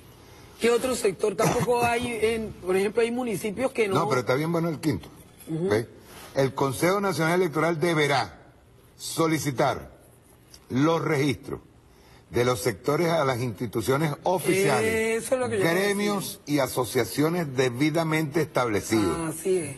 La información correspondiente al sector de los trabajadores y trabajadoras deberá solicitarla de acuerdo a los tipos de actividad laboral, petróleo, minería, industrias básicas, comercio, educación, salud, deporte, transporte, construcción, cultores, era lo que estabas hablando, Sí. intelectuales, prensa, ciencia y tecnología, administración pública. La información del sector estudiantil deberá solicitarla de acuerdo a la siguiente clasificación. Educación universitaria pública, educación universitaria privada y misiones educativas. Así es, todo el sector educativo. El Consejo Que son Nacional... además como 10 millones de personas. Claro, ahí eh, yo estoy hablando de los 10 millones metiendo también toda la escolaridad primaria, ¿no? El Consejo Nacional Electoral, una vez recibidos los, distin- los distintos registros, podrá agruparlos por áreas de similar condición y distribuirlos según la base poblacional establecida. Exactamente. Parágrafo único, a fin de preservar el principio de un o una electora, un voto, ninguna elector o electora podrá estar en más de un registro sectorial. Así es, ¿te das cuenta? O sea, no es que, ah, no, que yo este, soy cultor, pero también estoy en el en pensionada, pero también estoy en la administración, entonces como trabajadora, entonces voy a votar cinco veces, no.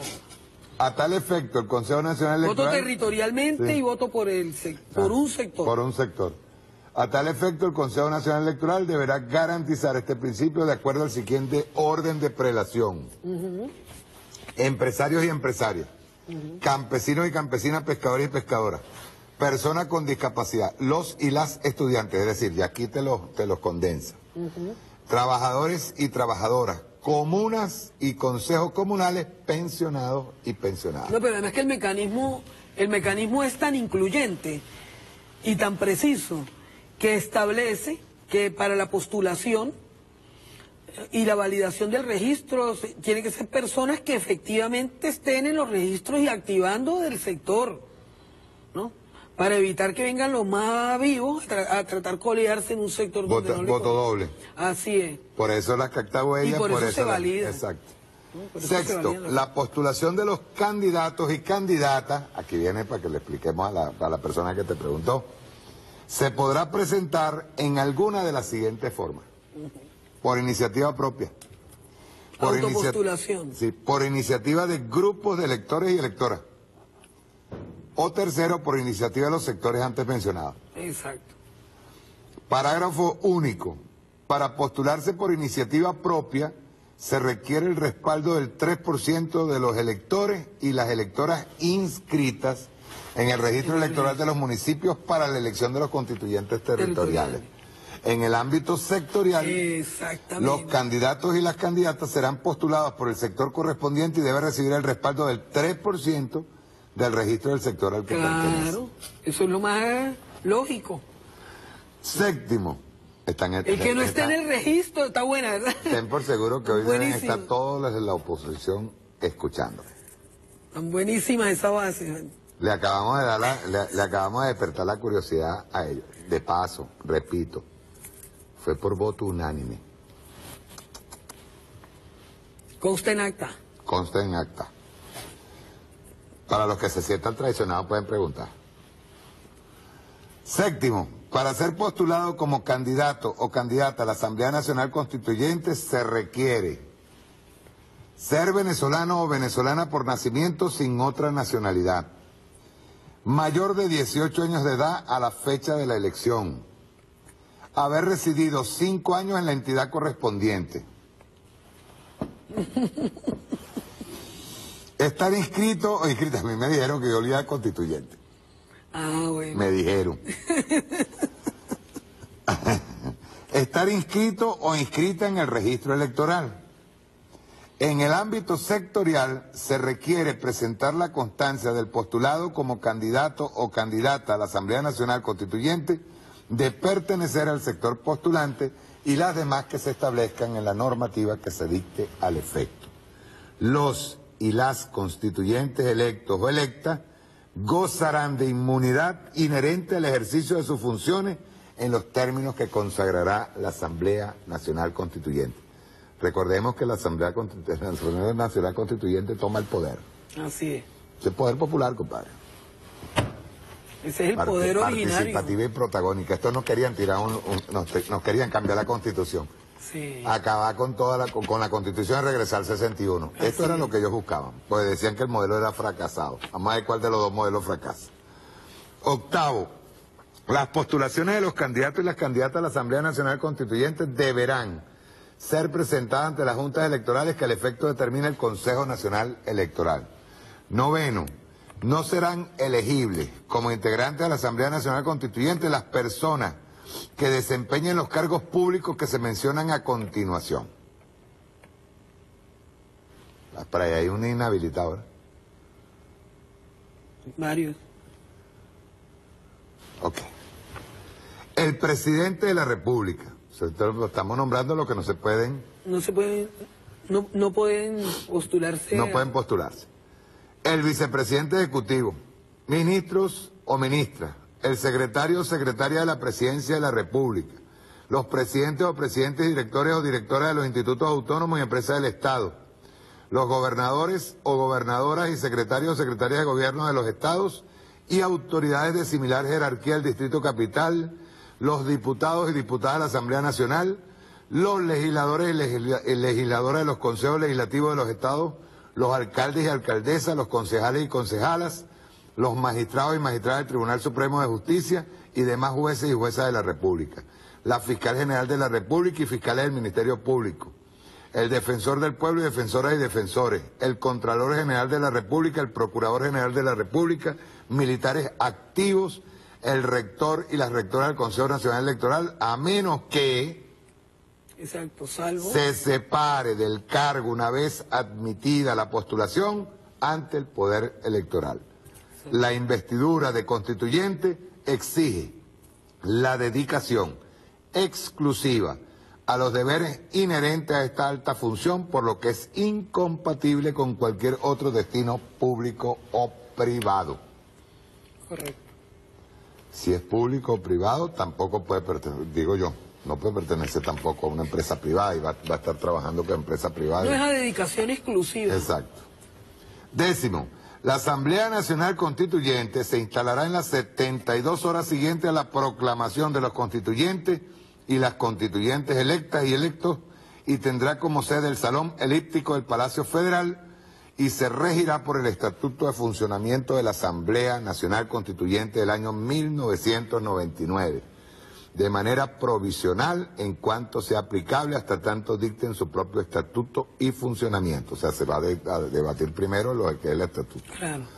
Décimo primero, una vez instalada la Asamblea Nacional Constituyente como poder originario, que recoge la soberanía popular, deberá dictar sus estatutos de funcionamiento teniendo como límite los valores y principios de nuestra historia republicana, así como el cumplimiento de los tratados internacionales, acuerdos y compromisos válidamente suscritos por la República, el carácter progresivo de los derechos fundamentales de los ciudadanos y las ciudadanas y las garantías democráticas dentro del más absoluto respeto de los compromisos asumidos. Dado en Caracas, 23 días del mes de mayo de 2017, año 207 de la independencia, 158 de la federación y 18 de la revolución bolivariana. Ejecútese. Refrendado con el presidente, aquí está la firma del presidente Nicolás Maduro. Así es. Ok. Excelente. Te dijeron, te hicieron una pregunta, vamos a hacerte, te la hicieron, que si eso iba a referéndum lo que se decidiera en esa, en esa Asamblea Nacional Constituyente. Mira, eso, Eso fue parte del debate, del debate nuestro cuando fuimos constituyentes del 99. ok. Precisamente para consagrar estos artículos 347, 348 y 349. ¿no? Por eso es que ellos no han podido contraer esos artículos. Porque eso está bien explicado y eso está tácitamente expresado aquí. Eso no tiene eh, discusión, pues la discusión se dio y quedó en actas y quedó aquí consagrado el resultado de toda la deliberación. Nosotros no podemos, nadie puede en modo alguno regular al poder constituyente originario. no se le puede dictar pautas. O sea, el poder es inmanente al pueblo, se convoca. ¿no? Hay vías para que ese poder se pueda ejercer, se exprese. O sea, no es que el, el pueblo tiene un poder constituyente, ah, pero si no tienes vías para canalizarlo y para que el pueblo pueda realmente ejercerlo. Entonces, por eso está el 347 y el 348. Y el 349 dice los alcances de ese poder. Fíjese, una vez que esté instalada la Asamblea Plenipotenciaria, una vez que esté instalada la Asamblea Plenipotenciaria, yo no podría decirte en este momento qué puede decir esa Asamblea, porque esa Asamblea son 540 personas, electas cada uno por la de conformidad con lo que establezca en las bases comiciales y lo que la- los lineamientos del CNE. De nadie puede ahorita venir a decir, no, que la Asamblea Nacional Constituyente tiene que hacer esto o aquello. No, no, no. Hay unas bases comiciales, hay unos temas, hay un objetivo estratégico por el cual el presidente la convoca y es todo lo que estamos viviendo, pues. El presidente convoca eso ante la ausencia de interlocutores válidos para poder conseguir la paz. Hay un objetivo estratégico que es preservar la paz de la República. ¿Mm? Y a eso es que ha apelado el presidente. ¿Quién más, en manos de quién se puede dejar la discusión y el diálogo? ¿Qué interlocutores más válidos puede haber si no personas que sean electas desde las bases del poder popular en, eh, en elecciones libres, universales, directas y secretas, y que sean ellos los que se sienten allí a debatir? Pero además ellos, este, una vez constituido, es soberanísima. El presidente lo dijo. Y eso está allí escrito. ¿no?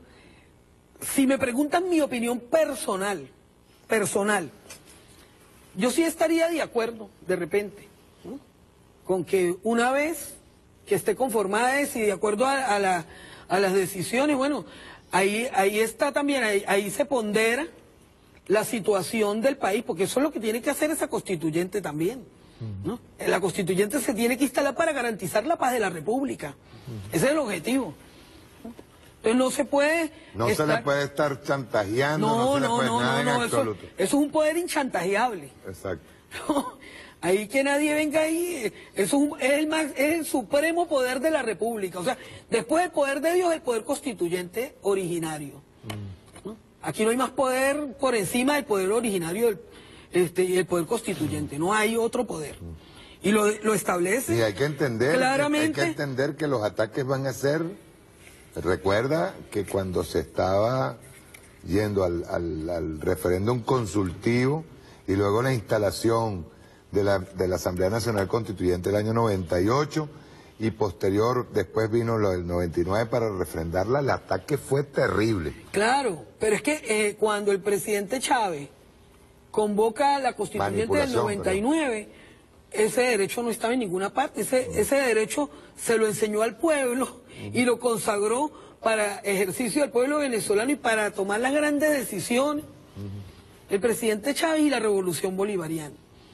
¿no? Por eso es que es una herramienta con la que ellos que este, son unos falsos, que tienen, manejan doble discurso, que dicen, no, la constitución es perfecta y no se puede. ¿Usted se acuerda de esas jaurías? Eso es lo, lo mismo decían de la del 61. Esa jauría, esa jauría que, que son lo que son unos hipócritas, ¿no? unos cínicos, no contaban porque ellos no, no, no se molestan en leer la constitución, porque ellos lo que quieren es eliminarla. ¿no? Ellos lo dicen, cuando ellos convocaban esta constituyente que convocaba a Freddy Guevara, ¿para qué la convocaban? Para acabar con todo, Sí. ¿no? El barbarazo, pues. Como dijo Ramos Ayub. Lo que están haciendo dijo- ahorita, Como dijo Ramos lo que están haciendo ahorita, pero, pero sin constituyente. Y lo que dijo Ramos Ayú cuando ganaron la Asamblea Nacional. Así es. Dijeron, ellos, ellos ganan la Asamblea Nacional, de inmediato lo primero que dijo Ramos Ayú es que había que derogar esa constitución porque estaba hecha como una, como la camisa eh, eh, este, perfecta para Chávez. Sí, sí, ellos siempre eso y sin embargo se han, manejaron. se han aguantado, con- después siguieron hablando de constitución y de sacarnos por vía No, constitucional. yo- es que yo creo que la constitución es de plastilina. Se la acomodan a su conveniencia. ¿no? Resulta que no, esto es una constitución, eh, una constitución hecha a la medida del pueblo venezolano. ¿no? Depositario y único titular del poder constituyente originario. Y el presidente lo ha invocado, lo convoca se elegirán ahora ya, nos estamos preparando ya para esa fase eleccionaria, ¿no? De los constituyentes, que deben ser las personas que representen los auténticos liderazgos de la base del país y además los que quieran la patria. Una persona que este, está invocando una injerencia extranjera, como están haciendo estos parias de la Asamblea Nacional, esa persona de verdad que esa Asamblea Nacional Constituyente deberá tomar No, decisiones. y hay una cosa, y hay una cosa también, Iri, por la que ellos tienen temor, pero un temor terrible. Yo te quiero enseñar una Ellos cosa. saben que, que la constituyente va, va a hacer justicia. Claro. Ellos saben que con la constituyente se les acaba la impunidad y se les acaba la guachafita, ellos lo saben. Yo quiero, yo quiero Por eso enseñar- le tiene miedo yo a la que- Yo quiero constituyente. enseñarte algo, por favor, y velo, velo ahí en la, en la pantalla, ¿no? Esto que tú estás viendo aquí, el pueblo, el pueblo ejerciendo su función de educador con la Constitución. Un abrazo a Lida en Petare. El pueblo ejerciendo su, su función, sin haber, o sea, te estoy hablando de todos estos días, ellos enseñando qué es una constituyente. De esto. La gente, la gente organizada. Un saludo ahí a Lida. Bueno, paso. Mario, mire, Mario. La gente organizada, ve esto. Desde por qué, qué es una constitución, cuántas constituciones tuvo Venezuela, por qué la, la necesidad de la constituyente. Y mira, la gente organizada El en 21 los de barrios. mayo. Esto, esto, mira, ¿ves? Sí. Constitucionalismo liberal burgués, aportes, pum, pam. Y Mira, a mí me, me dio una alegría tremenda chequear todo esto acá. mira. Las carpetas de mi, de mi Los-. Las carpetas. Los, los, el, el mismo pueblo trabajando en función de aprender, de aprender qué es la, la- la constituyente. No, los informes ¿Eh? de la constituyente del viaje. Y esto que te muévase. esto que les dé, que les dé fresquito, ¿no? Porque la gente está clarita con lo que Mira, viene. yo aquí tengo, yo aquí tengo, Mario, lo- un, un dossier de prensa de los cuatro estados que me correspondió ir. No, pero esto lo hicimos. Los 14 miembros de la comisión presidencial nos desplegamos en todos los estados del país. Pero era impresionante. Y además el nivel de la discusión, hermano. Es impresionante que en lo, eh, donde nosotros fuimos a hacer los foros, la gente no cabía, había más gente afuera que adentro. ¿no? Esto desesperó mucho a la derecha, ¿no? Claro. Los desesperó porque se sintieron impotentes. O sea, ellos pensaban y además empezaron con una campaña de terror tratando de decir que era imposible que nosotros fuéramos a hacer ninguna actividad. Nos Y que- resulta nos que fuimos, Nos dijo este Aristóbulo que, que a veces tuvieron que dejar por, por, por motivos de trabajo, tuvieron que dejar a veces este reuniones. No, por pero ejemplo, es en el que- caso, en el caso del señor casi cinco mil personas. pero es que la gente, la gente iba al foro, se ponían sonidos afuera y pantallas afuera, y después se constituían en grupos y se desplegaban por los municipios al interior de, lo- de los, de los estados que visitamos. Eso se hizo en Táchira, Mérida, Trujillo y Falcón, los estados donde me correspondió ir. Y el, el nivel del debate, los planteamientos, las Enséñalo, propuestas. las fotos. pues, esto, esto es bueno para Sí. que ellos vean el nivel de organización popular y el nivel de la gente trabajando. La gente Sí. en función de hacer su trabajo. Mira, esto fue, por ejemplo, Ponlo- en ponlo Trujillo. con esta, por favor. Este que está aquí. Préstame un momentico, Iris. Yo, lo- yo los voy pasando. ¿Tú lo Dame, vas dame- pasando? dámelo acá. Yo los voy pasando. Aquí, este, por ejemplo, este, por ejemplo, Táchira. por ejemplo, en, en Táchira, aquí tienen, en Táchira, vamos pasando. Mira a ver si ahí están las fotos del... Ya va. ¿Tú En Táchira, fotos? ven, la gente debatiendo. Trata de, de, de colocarlo, mira, eh, la gente debatiendo. Estado Trujillo. ¿eh? Mira.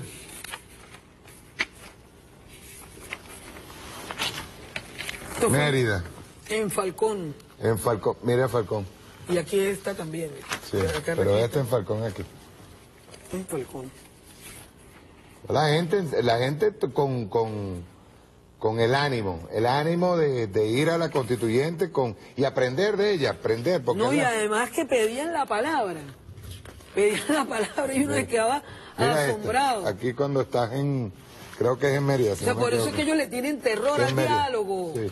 Al diálogo, porque ¿con qué argumentos un guarimbero ¿eh? va a venir a sentarse a debatir con alguien del pueblo que tiene este tipo, este nivel de formación? Que está Ramírez. que entiende este perfectamente eh, de qué se trata este llamado, que entiende lo estratégico de la paz. para la República. Por eso te digo, en los barrios, ¿Por qué no podemos lados, nosotros caer en lados hay un provocación? nivel de conciencia enorme, grande. Aquí está todo lo que fue la, la cobertura de prensa y todo el debate que se dio, bueno, en todos los rincones. Se hicieron, además de eso, pues se hizo eh, ruedas de prensa y después se desplegaron. En Táchira eh, hubo una inmensa cantidad de personas, lo hice en el, en el Instituto de Tecnología, en el universitario, de ahí de, de la Concordia. Y después de eso, bueno, hicieron un enrubio donde habían empezado los guarimberos a desatarse. De, de hecho, venían unas personas que querían participar del foro y me llamaron, no pudimos llegar porque nos trancaron la vía, pero no se preocupe que nosotros aquí estamos dando el debate. Después me mandaron unas imágenes y metieron como 700 personas en un, en, un teatro. Y ahí hicieron el debate y después se desplegaron al interior de los municipios, porque el pueblo agarró el debate constituyente. Ahora una cosa, Iri. Por ejemplo, decía yo, ayer yo, ayer no, el, el sábado pasado, decía yo, por ejemplo, que si es, si es que se puede debatir incluso hasta la elección popular de, de, por ejemplo, de un cargo como el de la Fiscalía, cargos como el de la Contraloría, que no sean, que no sean elecciones de segundo grado, este, directos por, por la Asamblea Nacional. Digo yo que se pudieran hacerse- hacer ese tipo de propuestas. Todo eso... pues, Que sean mira, revocables de, de elección Mira, popular y La revocables. constituyente lo puede todo. La constituyente lo puede todo. Nadie puede venir a regular el poder constituyente. Por eso, la forma que ha escogido el presidente de la República para hacer la- la- el llamado es muy inclusiva. Él no está dejando a ningún sector por fuera, a ninguno. El que no participe... Mucho más amplia que, que el año 98. Sí, absolutamente. Pues el 98 fue partidista prácticamente. Fueron con las No, fue también un... No, no, fue nominal. Fue nominal. Eh, A nosotros, a mí me tocó que recoger 20 mil firmas y nos presentamos con nombre y apellido. Y yo recuerdo que incluso este, nosotros canalizamos el voto a través de las llaves, ¿te acuerdas? De las llaves de Sí, Chávez. llave de Chávez. Y este, había una circunscripción nacional y una regional. Nosotros teníamos que escoger 10 constituyentes por la circunscripción nacional y 4 por la regional en Táchira. En Táchira escogimos a 14 constituyentes. O sea, 10 de la nacional y 4 del, del, del Estado Táchira, que entramos los cuatro, los cuatro que representábamos la opción del... Por ejemplo, en el tema de justicia. Tú decías ahorita, tú me leíste ahorita un artículo en donde habla de que no se permite el anonimato ni El, la el propaganda artículo de la libertad de expresión, Ok, es el de libertad de el expresión. 57. Ok, pero, pero vamos al tema de justicia. No solamente que no se permita el anonimato, sino ser más específico. No se permita, no solamente... ¿Y cuál es la sanción si eso ¿Y cuál se es la hace? sanción? Pues eso se está haciendo, pues. Bueno, hay- está la, la ley contra la delincuencia organizada y el, y el terrorismo, ¿no? Que yo no entiendo por qué no la están aplicando. O sea, los jueces la, la- la aplican, por, por supuesto que la aplican, pero aquí hay quien tiene la titularidad de la acción penal que está haciendo omisis a esta obligación que tiene como parte del Estado, pues. Por ahí leí algo insólito, ¿no? Creo que también este, en una entrevista alguien le preguntaba al profesor Aristóbulo Isturi que desde el Ministerio Público habían dicho tal cosa, que, que, no, se, que no se cumplía, que el Estado... No se estaba cumpliendo con los requisitos del levantamiento, o del que el levantamiento Estado, del... a- algo así diciendo Algo así Estado, como que el 6CPC no hacía bien las bueno, yo creo investigaciones. que las personas tienen que saber dónde están ubicadas, ¿no? Porque el Ministerio Público es parte del Estado. No, pero es que no solamente eso, sino que cuando se está haciendo una investigación, no solamente llega a 6CPC. No, pero además es una llega- obligación, o sea, ella no puede, de- eh, ella no puede ser parte de la denegación de justicia. Ujú, ujú. O sea, desde el Ministerio Público no se puede estar denegando justicia, y mucho menos cubrir con manto de impunidad a quien flagrantemente está cometiendo delito. ¿Dónde está la imputación para esta jauría ah, de hienas que agarraron a este muchacho allí en esa marcha en Altamira y lo rociaron con gasolina y le prendieron fuego? Sí. ¿Ah? ¿Dónde está la imputación para los que le quitaban como ave de rapiña a este muchacho joven, este periodista de apellido Castillo? Bueno, yo vi, eh, a mí me causa mucha indignación y mucha impotencia, ¿no? Ver, porque ahí hay, hay un video donde hay una persona que le está arrancando el, el muchacho herido y se ve que está casi desvanecido, pero iba con vida. Y en vez de, darle asistencia le arrancaban como arrancarle la presa, un órgano a, un- a una presa, este, arrancándole la cámara que tenía en el casco. ¿Tuviste esa imagen? Contra esto. ¿Dónde están las acciones penales contra el ataque al CDI? A los CDI, corrijo. ¿No? Tres CDI que atacaron el día de ayer. ¿Dónde están los responsables? Si todo eso es público, notorio, comunicacional, se sabe quiénes son los artífices. Mira, yo tengo la cantidad de personas que están aquí procesadas por delitos penales. Siempre la fiscalía le mete un delito que se llama este, asociación para delinquir. ¿No? Asociación para delinquir. Es un, un delito, agavillamiento y tal. Se los mete. Ahorita no se está viendo eso. Porque yo creo, instigación a- a delinquir es otro delito. Coño, nosotros hemos visto al señor Freddy Guevara instigando la delincuencia. No solamente instigando, aupándolo. Allá en Táchira fue a intentar hacerlo y la misma gente se le volteó la de ellos. ¿no? Y después gente, gente indignada del pueblo casi lo sacan y bueno, él llegó muy guapo al Táchira y después salió corriendo y protegido por la Policía Nacional Bolivariana porque nuestros funcionarios son personas que respetan los derechos humanos y que no van a dejar que lo linchen ahí estando ellos ahí pudiéndole proteger la vida. ¿Mm? Sea lo que sea ese señor Exacto. con todo lo que lo- la, la violencia que ha generado. Pero bueno, ellos están cometiendo delitos que a la luz de todo, de, de los ojos de todo el mundo, quien no lo ve, pues. ¿no?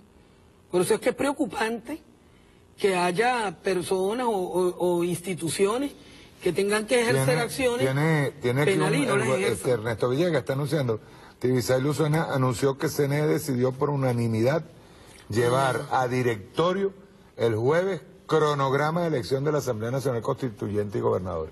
Ah, el jueves vamos a tener... un Vamos a hacer una cosa, vamos a hacer un receso y regresamos pa- para concluir. ¿oíste? Bien. Vamos a un corte y ya regresamos.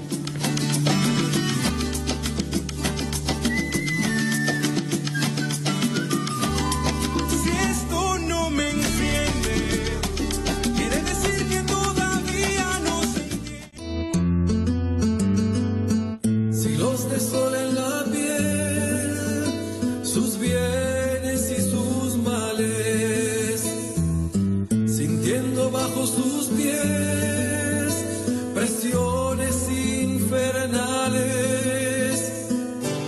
El manto iris del suelo y alzó tanto su voz. El despertó del sueño en un por ahora.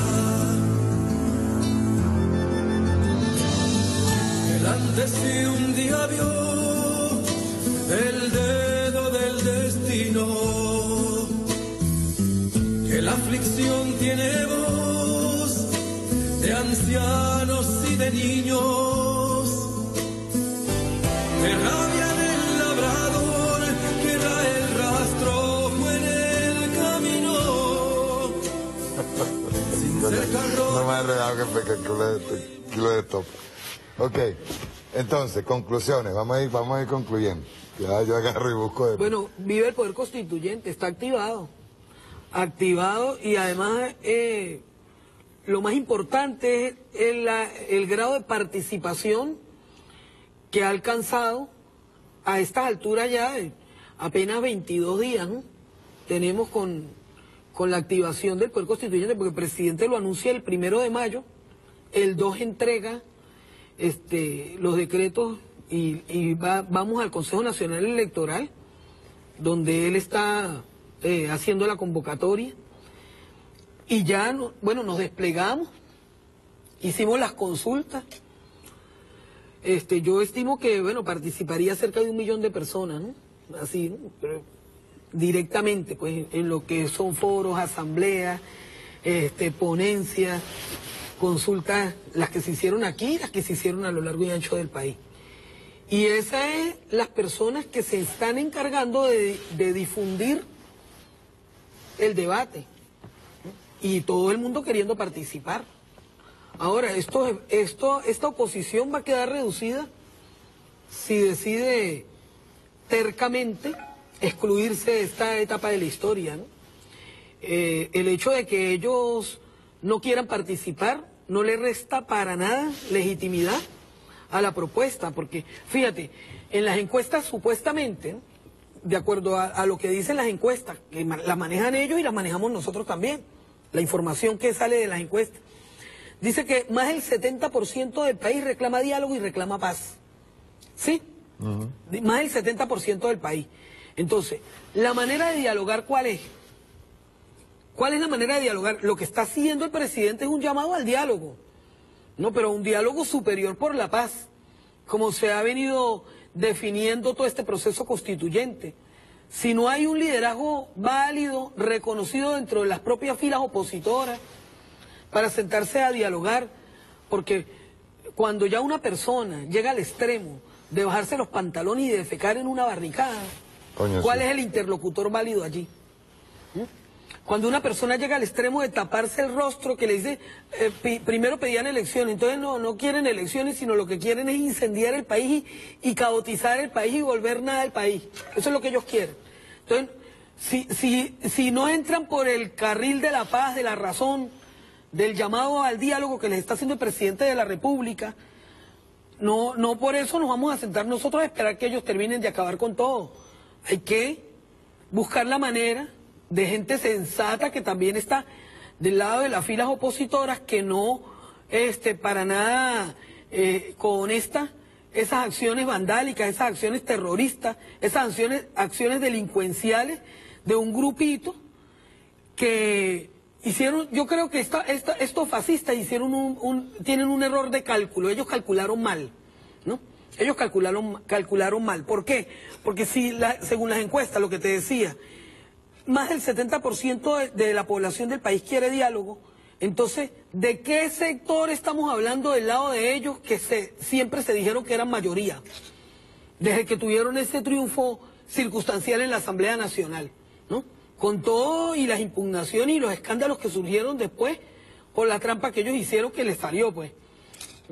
Entonces, ¿a qué cantidad de sectores representan ellos realmente en el país?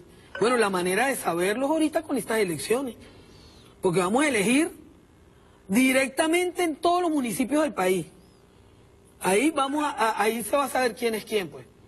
Si ellos creen que son mayoría, ¿por qué no participan? ¿no? Si de verdad ellos quieren la si ellos también quisieran la paz del país, claro, ellos no la quieren porque nunca la han invocado, ellos nunca invocan la paz. Ellos lo que invocan es la violencia. Pero nosotros sí queremos paz. Definitivamente la paz en el país depende de las mayorías. Por eso es que no han acabado ni acabarán con el país. Que tienen unos focos en ciertos y determinados lugares donde los alcaldes directamente participan, que van a tener que responder por eso, definitivamente, pero donde ellos están participando en las acciones violentas, bueno, eso es verdad, pero ya con este llamado y con esta activación del Poder Constituyente, cada uno tiene que ocupar su lugar. Si querían participar y se sienten mayoría, bueno, vamos a las elecciones, pues. Si no, su no participación no le va a restar legitimidad a esa asamblea. El voto aquí es un derecho y como tal se está invocando. Vamos a hacer una cosa, vamos a un corte y ya regresamos, vamos con el himno y ya regresamos. Búscame a...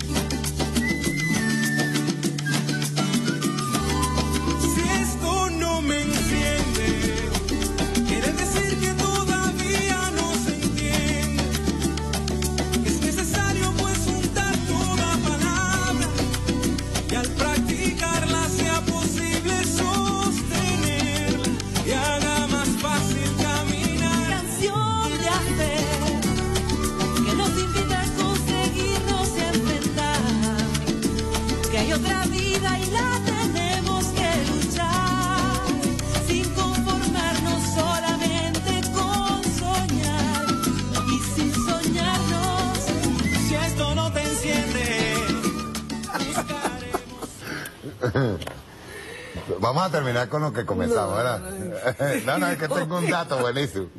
Tengo un dato buenísimo. Voy a leer primero demasiado esto. bueno, demasiado bueno. Esto es un dato buenísimo. No, pues ustedes saben que a mí me da risa, ¿no? Porque voy a terminar con esto, ¿no?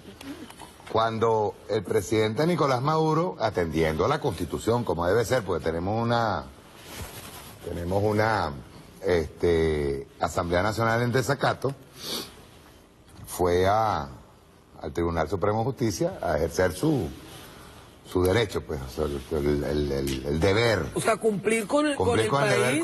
con- sí, hacer la, la, la- Claro. su memoria, Su y, memoria y cuenta, cuenta. Su memoria y cuenta. Ahí hubo dos, dos jueces que no asistieron. Estaban en, ya estaban en franca rebelión. Por eso es que yo digo que por qué no renunciaron en ese momento. El primero es uno que apareció en un video hoy. No vale ni la pena, de sala, sala de casación social. Y está, por eso es que yo digo, mire, eso es igual. Tú sabes, que, tú sabes que los ladrones y los estafadores tienen un problema. Así es. Que van dejando huellitas, ¿ves? Huellas, huellas. Entonces cuando tú empiezas a recopilar información, entonces salió, salió hoy también esa otra persona declarando en contra de la, de la constituyente, ¿no? Ella está en la sala de casación. El que hablaba ahorita de sala de casación social, que creo que el único libro que hizo fue un libro sobre la responsabilidad del ebrio, en las responsa- responsabilidades penales del ebrio. Fue el que hizo este, este señor. Pero vean esto, ¿eh?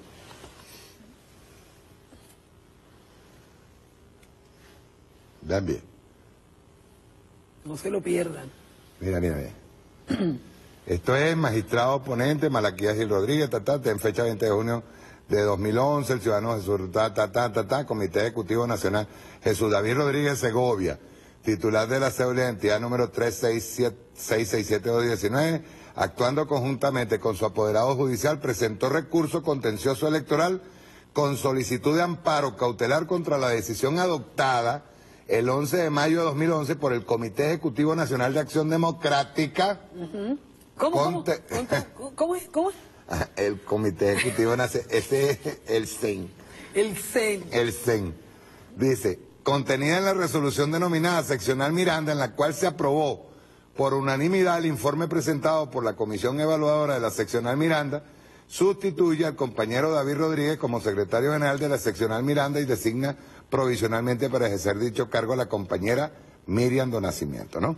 Entonces dice, el 30 de julio, vamos a leer esta parte de aquí, que es la, me- la mejor. El 30 de junio de 2011, el ciudadano Henry Ramos Ayub, titular de la cédula de identidad número un millón, coño, este carajo es viejo, un millón. Me pensaba que tenía como... Yo le llevo cuatro millones por delante, mano. Bicho es viejo, pana, viejo. Un millón tres seis cuatro nueve noventa, actuando con el carácter de secretario Gen- Gen- general nacional de Acción Democrática, Acción Democrática asistido por los abogados Marisela Godoy estaba. Ujú, ujú. Ajá. ¿Quién es Marisela Godoy estaba? Juez del Tribunal Supremo de Justicia en rebelión. Sí, pero... No, no, no, no, no, no, no. Ábreme la foto, compadre. La foto. ¿Usted sabe lo que es esto que está aquí? Adelante a luchar, miliciano. ¿Eh? ¿Te fijas? ¿Te fijas cómo, cómo se... Coño, por eso es que yo digo. Ellos después dicen que nosotros tenemos un, un- un viaje de jueces ahí que son el Tribunal Supremo, que no hay separación de poderes. ¿Qué es esto? Así es. ¿Qué es esto? Dígamelo. Una abogada de Henry Ramos Ayub que hoy, de, fíjate bien, no asistieron a la memoria y cuenta del presidente de la República. Porque no estaban de acuerdo, tú sabes. Claro, que hay conflicto de intereses, compadre. Claro. No asistieron, no asistieron. Y ella fue electa juez por la Asamblea Nacional. Así es. O sea, que ellos no pueden decir que no eligieron a jueces. Y ve esto aquí, que tiene mucho que ver con ellos. Así es. Porque tiene una franelita, señora estaba, Eh, de fue acción electa con el procedimiento de la Asamblea con el que se eligieron a todos los jueces. Ajá. Con ese mismo procedimiento. Ella es de, ella es de casación electoral, creo, si no me equivoco. Eso porque lo peor de todo, Run Rune, que se la pasa tirando sus chismes, ¿verdad? Run Run, sala de casación civil. Aquí está. La meten, la meten a ella. Claro, claro. Y el otro es Danilo Antonio Mojica Monsalvo. El que habló hoy. El que salió a hablar hoy. Entonces uno, uno se queda. Que también es un, un Claro. independiente proadeco. Proadeco, es Proadeco. De Que todo el mundo lo sabe. de- Y también hay huellas. No, pero qué mejor La- huella que... Sí, sí, son unos inmorales. que ¿Es, es o no es inmoral? Claro, ellos son unos O inmorales. sea, ah, entonces agarran y te salen justo en el momento en que se está... Los impolutos. Mira, sí, sí, somos los... Somos los, los, Los puros, los químicamente puros. Los químicamente puros con sangre blanca. Ve bien, que era lo que yo decía al principio. En estos momentos se está dando eventos históricos. Eventos históricos. Yo decía el otro día que la ciudadana fiscal, lo único que le pedíamos era que hiciera justicia. No le estamos diciendo ni siquiera que mienta. No, que active lo que tiene que, Que activar, active lo que es su obligación. activar. Porque Entonces- además ella no administra justicia, Ahora, administra Poder ¿qué- Judicial. ¿cuál, es la- ¿Cuál es el común denominador entre la ciudadana fiscal y estos dos jueces que se pronuncian justo en un momento en donde de verdad ellos creen que tienen la posibilidad de tumbar el Estado? Momentos históricos importantísimos, por eso es que decía el comandante Chávez que la revolución era una, es una molienda. Así es. moliendo la, la historia. Así es. La historia va moliendo y va apartando, compadre. Va apartando lo malo. ¿Por qué?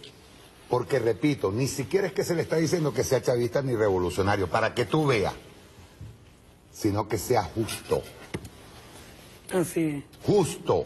Estos dos jueces del Tribunal Supremo, uno es de casación civil, otro es de casación este, social.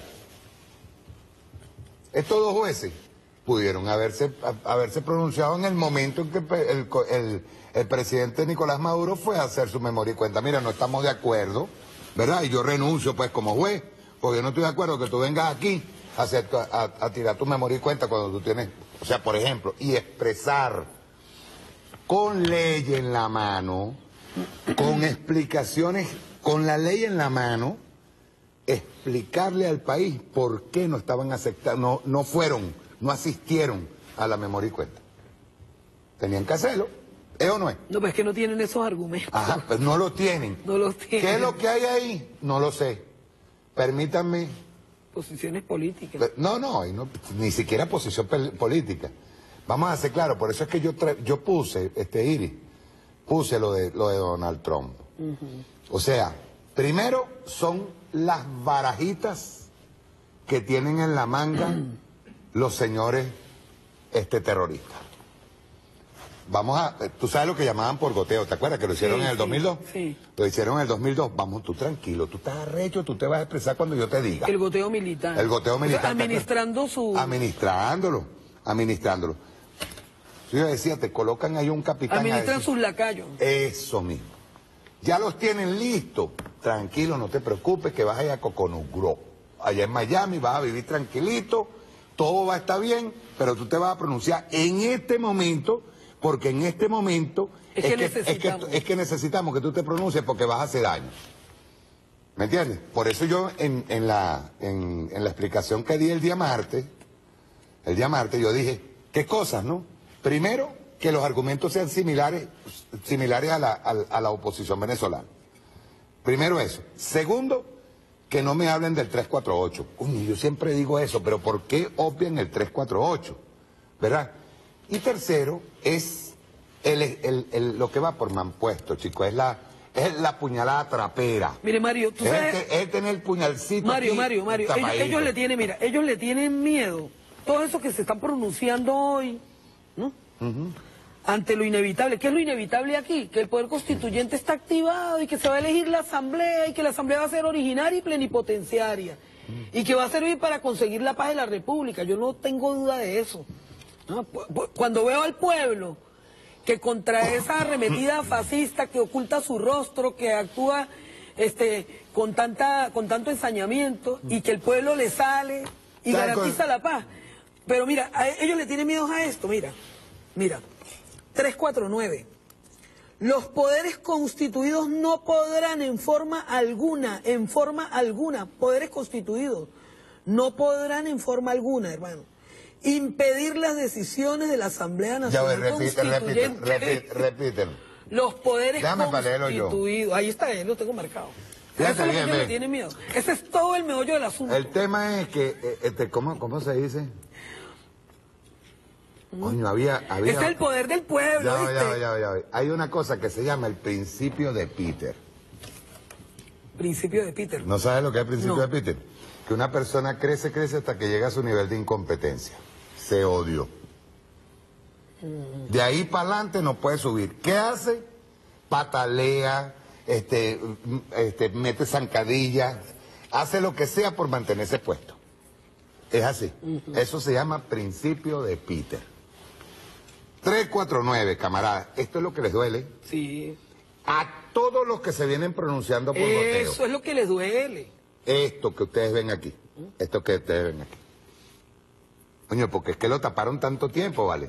Por eso es que, por eso es que el presidente, el, el- el- el presidente Nicolás dijo a la convocatoria para la marcha, dijo, no, ni siquiera vengan rojos, chicos, vénganse nada más que con una bandera y la gorra de Venezuela. Así es. ¿Verdad que lo pidió? Así es. Y sin embargo, todo eso parece una marea roja. Pero vénganse, vénganse nada más que con la bandera y la, y, el- y el, y la gorra. Así Porque es que hay tanto rojito ahorita así, que se coloca la cosa, entonces, coño, se dicen chavistas, ultrachavistas y todo esto, pero en el momento en que Donald Trump habló, más de uno se fue para la poseta, compadre. Así. Sobre todo los que tienen cargos. Pero ¿qué pasa con esa Pero, pero asamblea? gracias a Dios que la patria no la construyen ni la defienden los cobardes, el hermano. pueblo, compadre. El pueblo, el pueblo, mire, como dice Diosdado, el rondón no ha peleado. Así es. Ahora, ¿qué le temen? Ahora sí hay que hablarlo abiertamente. Así es. Coño, porque es que venían en goteíto, ¿verdad? Artículo 349. Déjalo completico. Lo voy a leer. El presidente, fíjate bien que, ve, ve por bien, el presidente. empieza por el presidente de la República, que el presidente de paso Que dijo que el orgulloso. desprendimiento del Dice- presidente. Y el presidente dice, orgulloso le entregaré Así es. el poder a la Asamblea Nacional Constituyente. Pero hay el mezquino, el ambiguo y el que preservó el puesto nada más que para, para joder al final. Que le molesta el 349. Lo leemos. Constitución de la República Bolivariana de Venezuela, que Dios mediante será ampliada ampliada para evitar que la oligarquía y los poderes fácticos tomen, este, retrocedan en nuestras leyes. 349. El presidente o presidenta de la República no podrá objetar la nueva constitución. Es decir, los avances que se hagan. Así es. O, la, o digamos el empoderamiento, en este caso del poder popular. O la ampliación de la, de, la, de la constitución de la República Bolivariana de Venezuela. O como decía Chávez, los nuevos tiempos. No, una de las cosas es que también ahí se habla de, primero se pone al presidente Claro. Porque es un régimen presidencialista. Claro. Y el presidente es jefe de Estado. claro. Es jefe de Estado. Y ya- y que ya el eso comandante- tampoco, y ya el que eso tampoco lo han querido Sí. aceptar los traidores de última hora, ¿viste? Sí. Y el comandante Chávez recuerda que en su momento se entregó Así su poder Puso su poder, se puso a la orden de la A la asamblea. orden de la Asamblea. de- dijo de la, de la soberanísima, también lo, lo empleó eso- el término, oye, presidente y eso y Nicolás Maduro, dijo, ante la soberanísima Asamblea Nacional Constituyente, lo dijo Chávez. Y lo dijo Maduro hoy. Dice, Leo, pero que les duele, Sí, sí. se les están acabando, se les están sí. acabando los poderes. Porque el pueblo va a tomar el poder. Por eso es que Rondón sabe cuando tiene que pelear. Ay, mira, dice, el presidente o presidenta de la República no podrá objetar la nueva constitución. Los poderes que me encanta. constituidos no podrán en forma alguna En forma alguna. impedir las decisiones de la Asamblea Nacional Constituyente. ¿Sabe qué? Después del poder de Dios, el poder del pueblo, hermano. Una vez promulgada la nueva constitución, coño, es que el pueblo les da urticaria. Claro. Una vez promulgada la nueva constitución, esta se publicará en la Gaceta Oficial de la República Bolivariana de Venezuela o en la Gaceta de la Asamblea Nacional Constituyente. ¿Sabe, ¿Sabe dónde se van a joder ellos bastante? Porque ellos tienen un país virtual, ¿oíste? Sí. Ellos tienen bastante gente en el Twitter. A través de puro... Y en las pero, redes. pero resulta que esos no votan. ¿Cómo hacemos? Nos, jode- nos jodimos. Sí, no, no, el tema es... Esos no votan. No, no, y el tema es por eso es Eso no que- vota, se vota con la huellita. por eso es que yo digo que el mismo, el mismo este Freddy Guevara tiene que estar ahorita en este momento diciendo, y nosotros porque dimos esa idea. Y todo aquello, yo se los digo, mire, yo les No. ¿por qué dijimos eso? Nos hubiéramos quedado Per- Perdón, callados. yo quiero que tú me digas una cosa, ¿qué es ser venezolano, Iris? Mira, Primero voy a hacerte esa pregunta, ¿qué es ser venezolano? ser venezolano para mí es un honor y un privilegio. Un honor y un privilegio. Y yo creo que hay que hacerle honor a nuestra nacionalidad y a nuestro orgullo de ser venezolano. ¿no? Porque no cualquiera se da el lujo de nacer en tierra de libertadores. ¿no? En una tierra con historia de gloria, de grandeza, como lo es nuestra historia patria. No cualquiera nace en la tierra de Guaycaipuro, de Simón Bolívar, Simón Rodríguez, Ezequiel Zamora, Francisco de Miranda, Antonio José de Sucre y Chávez, a que les duela, ¿no? O sea, no cualquiera nace donde nacieron estos gigantes de nuestra historia, nuestros libertadores, ¿no? Los hombres que han cambiado y han marcado el rumbo y han redimido a los pueblos y a las masas excluidas de este país y de Latinoamérica y del mundo, ¿no? Porque a ellos les dolerá mucho, pero la grandeza y la trascendencia de Bolívar y de Chávez nadie se las quita, ¿no? Son líderes mundiales reconocidos. Entonces, la nacionalidad venezolana es un honor y un privilegio. Y a eso hay, hay que hacerle honor. Eso es un, un tema para el debate, por supuesto, constituyente, ¿no? Pero cuando se instale esa Y soberanísima un asamblea... venezolano no entrega la patria, No, yo estoy recogiendo ni anda como Peñalosa, por Propuestas. cierto, mire, yo lo, yo lo pido por favor, porque yo lo vi. Ojo, a lo mejor es una omisión, o sea, pero yo lo vi.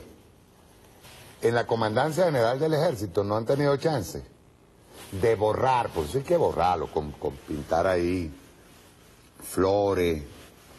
Coño, vale, la cara de Peñalosa en un, en un cuadro en donde está Simón Bolívar. La cara de Peñalosa. El tipo era tan, tan egocéntrico que se mandó a pintar ahí, ni siquiera fue, él fue, fue inspector y creo que adjunto ahí. Bueno, él se mandó a pintar allí en los cuadros de Simón Bolívar. Hay ni que borrarla. Sí. Porque un tipo como ese, que delante le dice a Jaime Bailey que aquí hay que aplicar el- el- el- el- la invasión de Panamá, no puede ser No, venezolano. hay que, hay que, hay que dejarlo por allí, pero poniéndole la respectiva leyenda de traidor a la patria. También se Y le coloca así, así. así, traidor a la O patria. sea, un, un militar que se precie de venezolano. y colocar la leyenda abajo Sí, por qué sí. hizo esto. No, no, hay que decirle, en el programa de mayo tal, yo voy a conseguir el Así día, es. de mayo tal, 2017, este señor dijo que una de las fórmulas para entrar a Venezuela y derrocar el gobierno de la República Bolivariana de Venezuela, yo quiero recordar esto, porque ellos quieren borrar el, el- el nombre de Bolivariana. Recordemos el año 2002 que se juramentó Carmona fue como República Mire, de Mario, Venezuela, Mario, derogaron la Constitución. Mario, quien, quien, quien atente contra la patria, quien traiciona a la patria, quien ofende nuestros símbolos patrios, que son símbolos de la identidad nacional, que reflejan nuestra lucha y nuestra historia de gloria, de grandeza. Esas personas deben ser inhabilitadas de por vida para ocupar cargos públicos. Son indignas de representar este Es pueblo. un traidor. Claro. Y tiene que quedar Pero tiene que ser- estigmatizado pero eso, como eso- traidor. ¿eso quién lo puede hacer? Una Claro. soberanísima Asamblea Nacional Constituyente. Claro. Eso lo puede hacer es una Asamblea No. Constituyente. Nos despedimos ahora sí. Oye, es que teníamos, la, teníamos en la... Yo estaba esperando un dato, ¿no? Sí. Pero es que lo tengo en la boca. Desde que yo vi hoy al pronunciamiento del otro colocándose el traje de juez que le queda grande. No, pero, Y grabándose Oye, un son videíto. expertos en, mo- en montarle el show. Chacho. Coño. ¿Quién le dijo a ese imbécil que era vocero? ¿Quién? A ese imbécil. No, que vaya a trabajar ¿Quién le dijo que era vocero? otra vez a, a- a repartir, ¿Vocero de qué? a, a colocar los potes, ¿Vocero de qué? los ¿De potes qué? a. Pero es que él no lo puede hacer, él, él mismo está violando la- las normas que le dan el cargo de juez. O sea, él, él- está rompiendo su majestad como juez de la República. Con eso que está haciendo. Despido con algo. De Luigino Brachi. Que por eso no merece ningún respeto, por eso le dije imbécil. No, no, es que, es que no, te- no merece respeto. No merece respeto. Ni él ni, No la se que respeta a sí ni él ni la que se puso la franela acción Ni, la, democrática. no, ni el ADECO ni la DECA. Ni el ADECO ni el ADE. ¿Me quedó sencillo, Julio? Ok. Luigino Brachi, manual para no ser confundido como chavista. Esto está excelente. Con esto despedimos. No use prendas de color rojo, ni siquiera zarcillos, pulsera o lápiz labial. No importa cuán bien le queden, cuán bonitas sean, no importa que sea el único pantalón que le levante el pompi o la franela que mejor resalte esos bíceps. Si es rojo, es chavista, no lo use. Y si usted usa una camisa roja por fuera, es doblemente chavista, porque se están vistiendo como ministros en jornada sabatina mereciéndose el doble de coñazo. Dice aquí. Si usted es calvo y pelón, es chavista. Usted está imitando el look de Héctor Rodrigo, Pedro Carvajalino, y nosotros no vamos a permitirlo. Chavista. Todo aquel que use boina es chavista, no importa el color, no importa que usted la use porque sea, se crea hipster. Si usa boina, es chavista. Si usted es gordito y rechoncho como Germán Escarrá, es chavista. Y si es gordo desparramado como Juan Barreto, es doblemente chavista. Bueno. Luigino. Pero vamos a seguir. Todo aquel que use bigote es chavista. Las explicaciones sobran. Aquí. Todo aquel que use pantalones tubito y colores tuqui al estilo de Pérez Pirela es chavista, cayendo y corriendo contra él. Cualquier mujer que tenga el cabello ensortijado está imitando a Iris Varela. Por tanto, es chavista. Si usted usa bufanda palestina, es chavista. A nosotros nos cuesta diferenciarle a las bufandas normales. Así que asumiremos que si usted se pone cualquier tipo de bufanda, usted es chavista. Si usted usa una franela con cualquiera de estos personajes, es chavista. Chávez, Fidel, El Che, Frida Kahlo, Martín Luther King, Ali Primera, Simón Bolívar. Seamos sinceros, ¿cuándo ha visto usted un digno opositor usando franela de Bolívar? Antonio José de Sucre, Negro Primero, Guacaipuro, Reverón y en general cualquier personaje histórico y artista popular latinoamericano, todos ellos son chavistas. Si usa franela de los Beatles o John Lennon, usted es chavista. Nada más chavista que un cantante hippie que soñaba con un mundo sin guerra, fronteras ni propiedades, repitiendo el discursito madurista de la paz. ¿Quién coño se cree? este es el manual. Si usted es rockero pelú al estilo, Paul Gilman, es chavista. Los únicos rockeros que admitimos hoy deben tener un look emo mezclado con Coldplay como la vida bohemia. Aunque desde que se pusieron a hacer discos con Pepe Mojica se volvieron sospechosos de chavista. Moca con una vaina. Toda aquella persona que use bolsitas ecológicas para supermercados, que clasifique la basura para poder reciclarla, es chavista. No lo olviden, todo ecologista es chavista, le sale tunda. Si tiene perrito, es de la misión Nevado. Por lo tanto, es chavista. Le sale tunda a usted y a su condenado perro. Coñazo. Niño con canaimita es chavista. Y quien lo defienda diciendo, pero eso es un niño, también es chavista. Todo árabe es chavista. Comenzando con los que trabajan en la tienda de Chaguarma, del centro comercial, sin importar que casi todos sean colombianos, y hasta el de Samsung. Es chavista. Todo chino es chavista. Los del restaurante chino, prepárense, iremos por ustedes. Todo reggaetonero es chavista, excepto si les gusta Nacho, ese sí es permitido. Todo negro salsero es chavista, allí no hay discusión ninguna. Todo mototaxista es chavista. El acceso al centro comercial solo le será permitido por 10 minutos diarios para entregar su respectiva encomienda e irse por chavista. si va a usar cualquier tipo de prenda de vestir con la bandera de Venezuela, recuerde que debe colocársela al revés. Si usted usa cualquier bandera en el sentido amarillo, azul y rojo, usted es chavista. Atento también al número de estrellas. Si usted es empleado público, automáticamente es chavista. Eso lo dijo Patricia Poleo. Si usted carga una loncherita de almuerzo pajúa y un carnecito colgando al cuello, es chavista.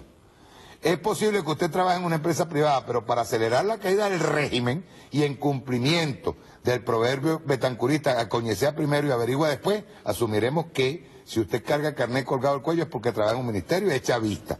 Después de darle su respectiva paliza, leeremos el carnet a ver.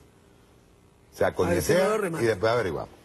Sabemos que todo, todos en este país corremos el riesgo de ser señalados de chavistas, por lo que esperamos que, con un estricto cumplimiento de estas normas, se minimice que usted sea golpeado, coñaseado, rociado con gasolina, incinerado y expuesto al escarnio público por nuestros inteligentes y pacíficos luchadores por la libertad y la paz. Comuníquese y publíquese. Es más, si a usted lo queman en la mitad de un, cara, de un carajazo así de gente con que encapuchado y todo, a usted lo está quemando el gobierno. Tú escuchaste a un... Mira, yo quedé horrorizada escuchando... Es terrible. A un, ese fue, ese fue el, el genio este de Miranda. Mira, a un pichón de, de, de fascista, de apellido Charisker. Yo no sé quién es. Diego Sharifker. Yo no sé qué hace. Él es, él no sé si es el hijo o el padre, pero los dos son igualitos. Bueno, pon cuidado. Dime quién de los Tú dos. sabes que. No, pues es un chamo. Ah, entonces es el hijo. Dijo. le- alguien le preguntó sobre la persona esta que rociaron de, de gasolina. ¿no? Que Por cierto, él no va para el baile porque el carajo es feo, no tiene, No, no, tiene, pon cuidado. no tiene charla. El tipo dijo, creo, estaba robando. Yo lo escuché. Y yo Sí. dije, Dios mío. No, no, no, es O que sea- la, la excusa es que lo quemaron porque estaba robando. Suponte No que hay estaba excusa, robando. no hay excusa, Ok, ahí pero no hay excusa. Pero eh, yo, lo- excusa, yo eso lo- es barbarie. Yo los vi, no, pero es que lo terrible no es eso, Iri, lo terrible es que No en excusa, AFP, en BBC, escúchame bien, te estoy hablando de las transnacionales de comunicaciones, dicen que parece que estaba robando. Y eso justifica que al muchacho le echaran gasolina y lo Pero prendieran. además eso no es verdad, pero ni Ajá. porque fuera. Ajá, pero ojo, que está robando.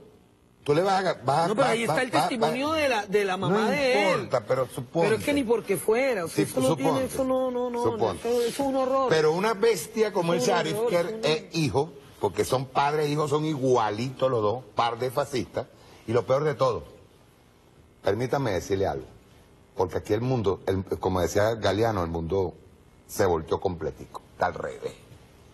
Lo peor de todo es que los dos son de origen judío. ¿Qué tal? Como que no aprendieron lecciones. No tienen lecciones de vida. ¿O será, o será que, tú sabes que una vez yo una una vez se dijo que todo lo que fue el holocausto se convirtió en excusa para hacerlo ellos, al revés. El sionismo judío lo estaba haciendo al revés. Y hay que decirlo, hay que decirlo. El holocausto se convirtió en una excusa para yo perseguir. Es más o menos lo que está pasando aquí. Yo soy rico, soy, soy bonito, soy lindo, me la paso metido en la, en, este, en la, en la Universidad Católica Andrés Bello o en la Simón Bolívar. Llego aquí y a mí me tienen que rendir pleitesía y negro que me pase por al lado lo quemo. Se acabó porque ese carajo es chavista. Es lo que dice este, que lo está diciendo en broma. No es, ver- no es, no, no es mentira. ese, ese video, porque mira, eso, eso hay que tenerlo. O sea, yo creo que, bueno, aquí... Esa es una justificación, porque es terrible, ve, fíjate, yo cuando vi las declaraciones completas, Aquí al, al pueblo venezolano hay que, hay que, el pueblo venezolano sabe, porque para eso debate, para eso está documentado, para eso está formado, ¿no? y está ahorita, eh, todo- todos estamos encaminados al proceso constituyente, ¿no? todos lo estamos, ya aceptamos el proceso y bueno, estamos muy entusiastas participando en él. Pero todos también, y esto hay que, hay que insistir en esto, aquí va a haber justicia, justicia va a haber. O sea, que no crea Julio Borges, que no crea Diego este, Vergara, ¿eh?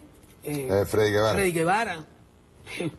que no crea Freddy Guevara, que no crea este, esta señora Corina Machado, que no crea Lilian Titori. esas señoras, que no crean que lo que ellos han hecho no genera responsabilidades. ¿no? Que no crean eso, aquí no, No, y, puede no haber va y, que impunidad. y hay que decirlo así bien claro, no va a pasar lo mismo que pasó con el Y monstruo aquí Ramo no va a haber poder lo- constituido. Lo acusaron. Aquí no va a haber poder Ah. constituido que este, se resista a acatar las decisiones que se tomen en una Asamblea Nacional Constituyente que está obligada a garantizar justicia paso, y paz. para culminar con algo, porque ellos mañana Justicia y van a paz. decir, ellos mañana van a decir, ustedes nos están amenazando. No, no, com- no. no, compadre. No, En no, no, no, absoluto. no, no, no, no, no. En absoluto. Ellos Estamos, son habla- estamos los que hablando, amenazan. estamos hablando de justicia. Ustedes, De todas maneras, esos imbéciles que lo tomen como quieran. Sí, sí. no, no, no importa. Como quieran que lo tomen. Que Ya, lo tomen como acá, quieran. escuchen bien lo que le voy a decir. Se lo digo así de todo corazón. No puede ser que en el momento, o sea, ya van tres llamados, y eso no que no estamos hablando del viaje muerto que nos tiraron desde, el desde que el, el presidente llegó para acá. Estamos hablando de un viaje muerto en, la, en, en, lo- en los campesinos. Más de 200. No, cuando y del- se- cuando y la ley de tierra. Mira, del crimen de Danilo Anderson, de Robert Serra, del el general Félix Vázquez. De Otaiza. De Otaiza, de, de Ricardo Durán. Ahora, ahora es que hay que empezar a sacar cuentas y todo eso tiene que ver, y ojo, no es que estamos sacando cuentas porque seamos racistas, no. Es que ustedes creen, de verdad creen que matar es un, como es un deporte. Y cada vez que vienen con sus benditas, porque hay otra vaina, chicos. Ellos matan hoy para van- tener, van para tres- van tener tres- perdón, víctimas por las cuales marchar Van mañana. tres veces consecutivas con el presidente Nicolás Maduro al frente de la- del gobierno, el llamado a la rechera, la salida y el llamado de Freddy Guevara. Y no a usted nada más, Freddy Guevara. Van tres. Y en los tres suman casi cuidaditos, si no los 200 muertos. Ya basta. Eso no puede quedar impune. Y no es que vamos a meter los presos ahí. Entonces, no, no, es por destrucción de la propiedad pública y privada. No. No, señor. No. No, señor. Me, me voy. Ahora sí, te dejo aquí. Tú sigue el programa. Hasta mañana. Hasta mañana. Chao, nos vemos el, el sábado.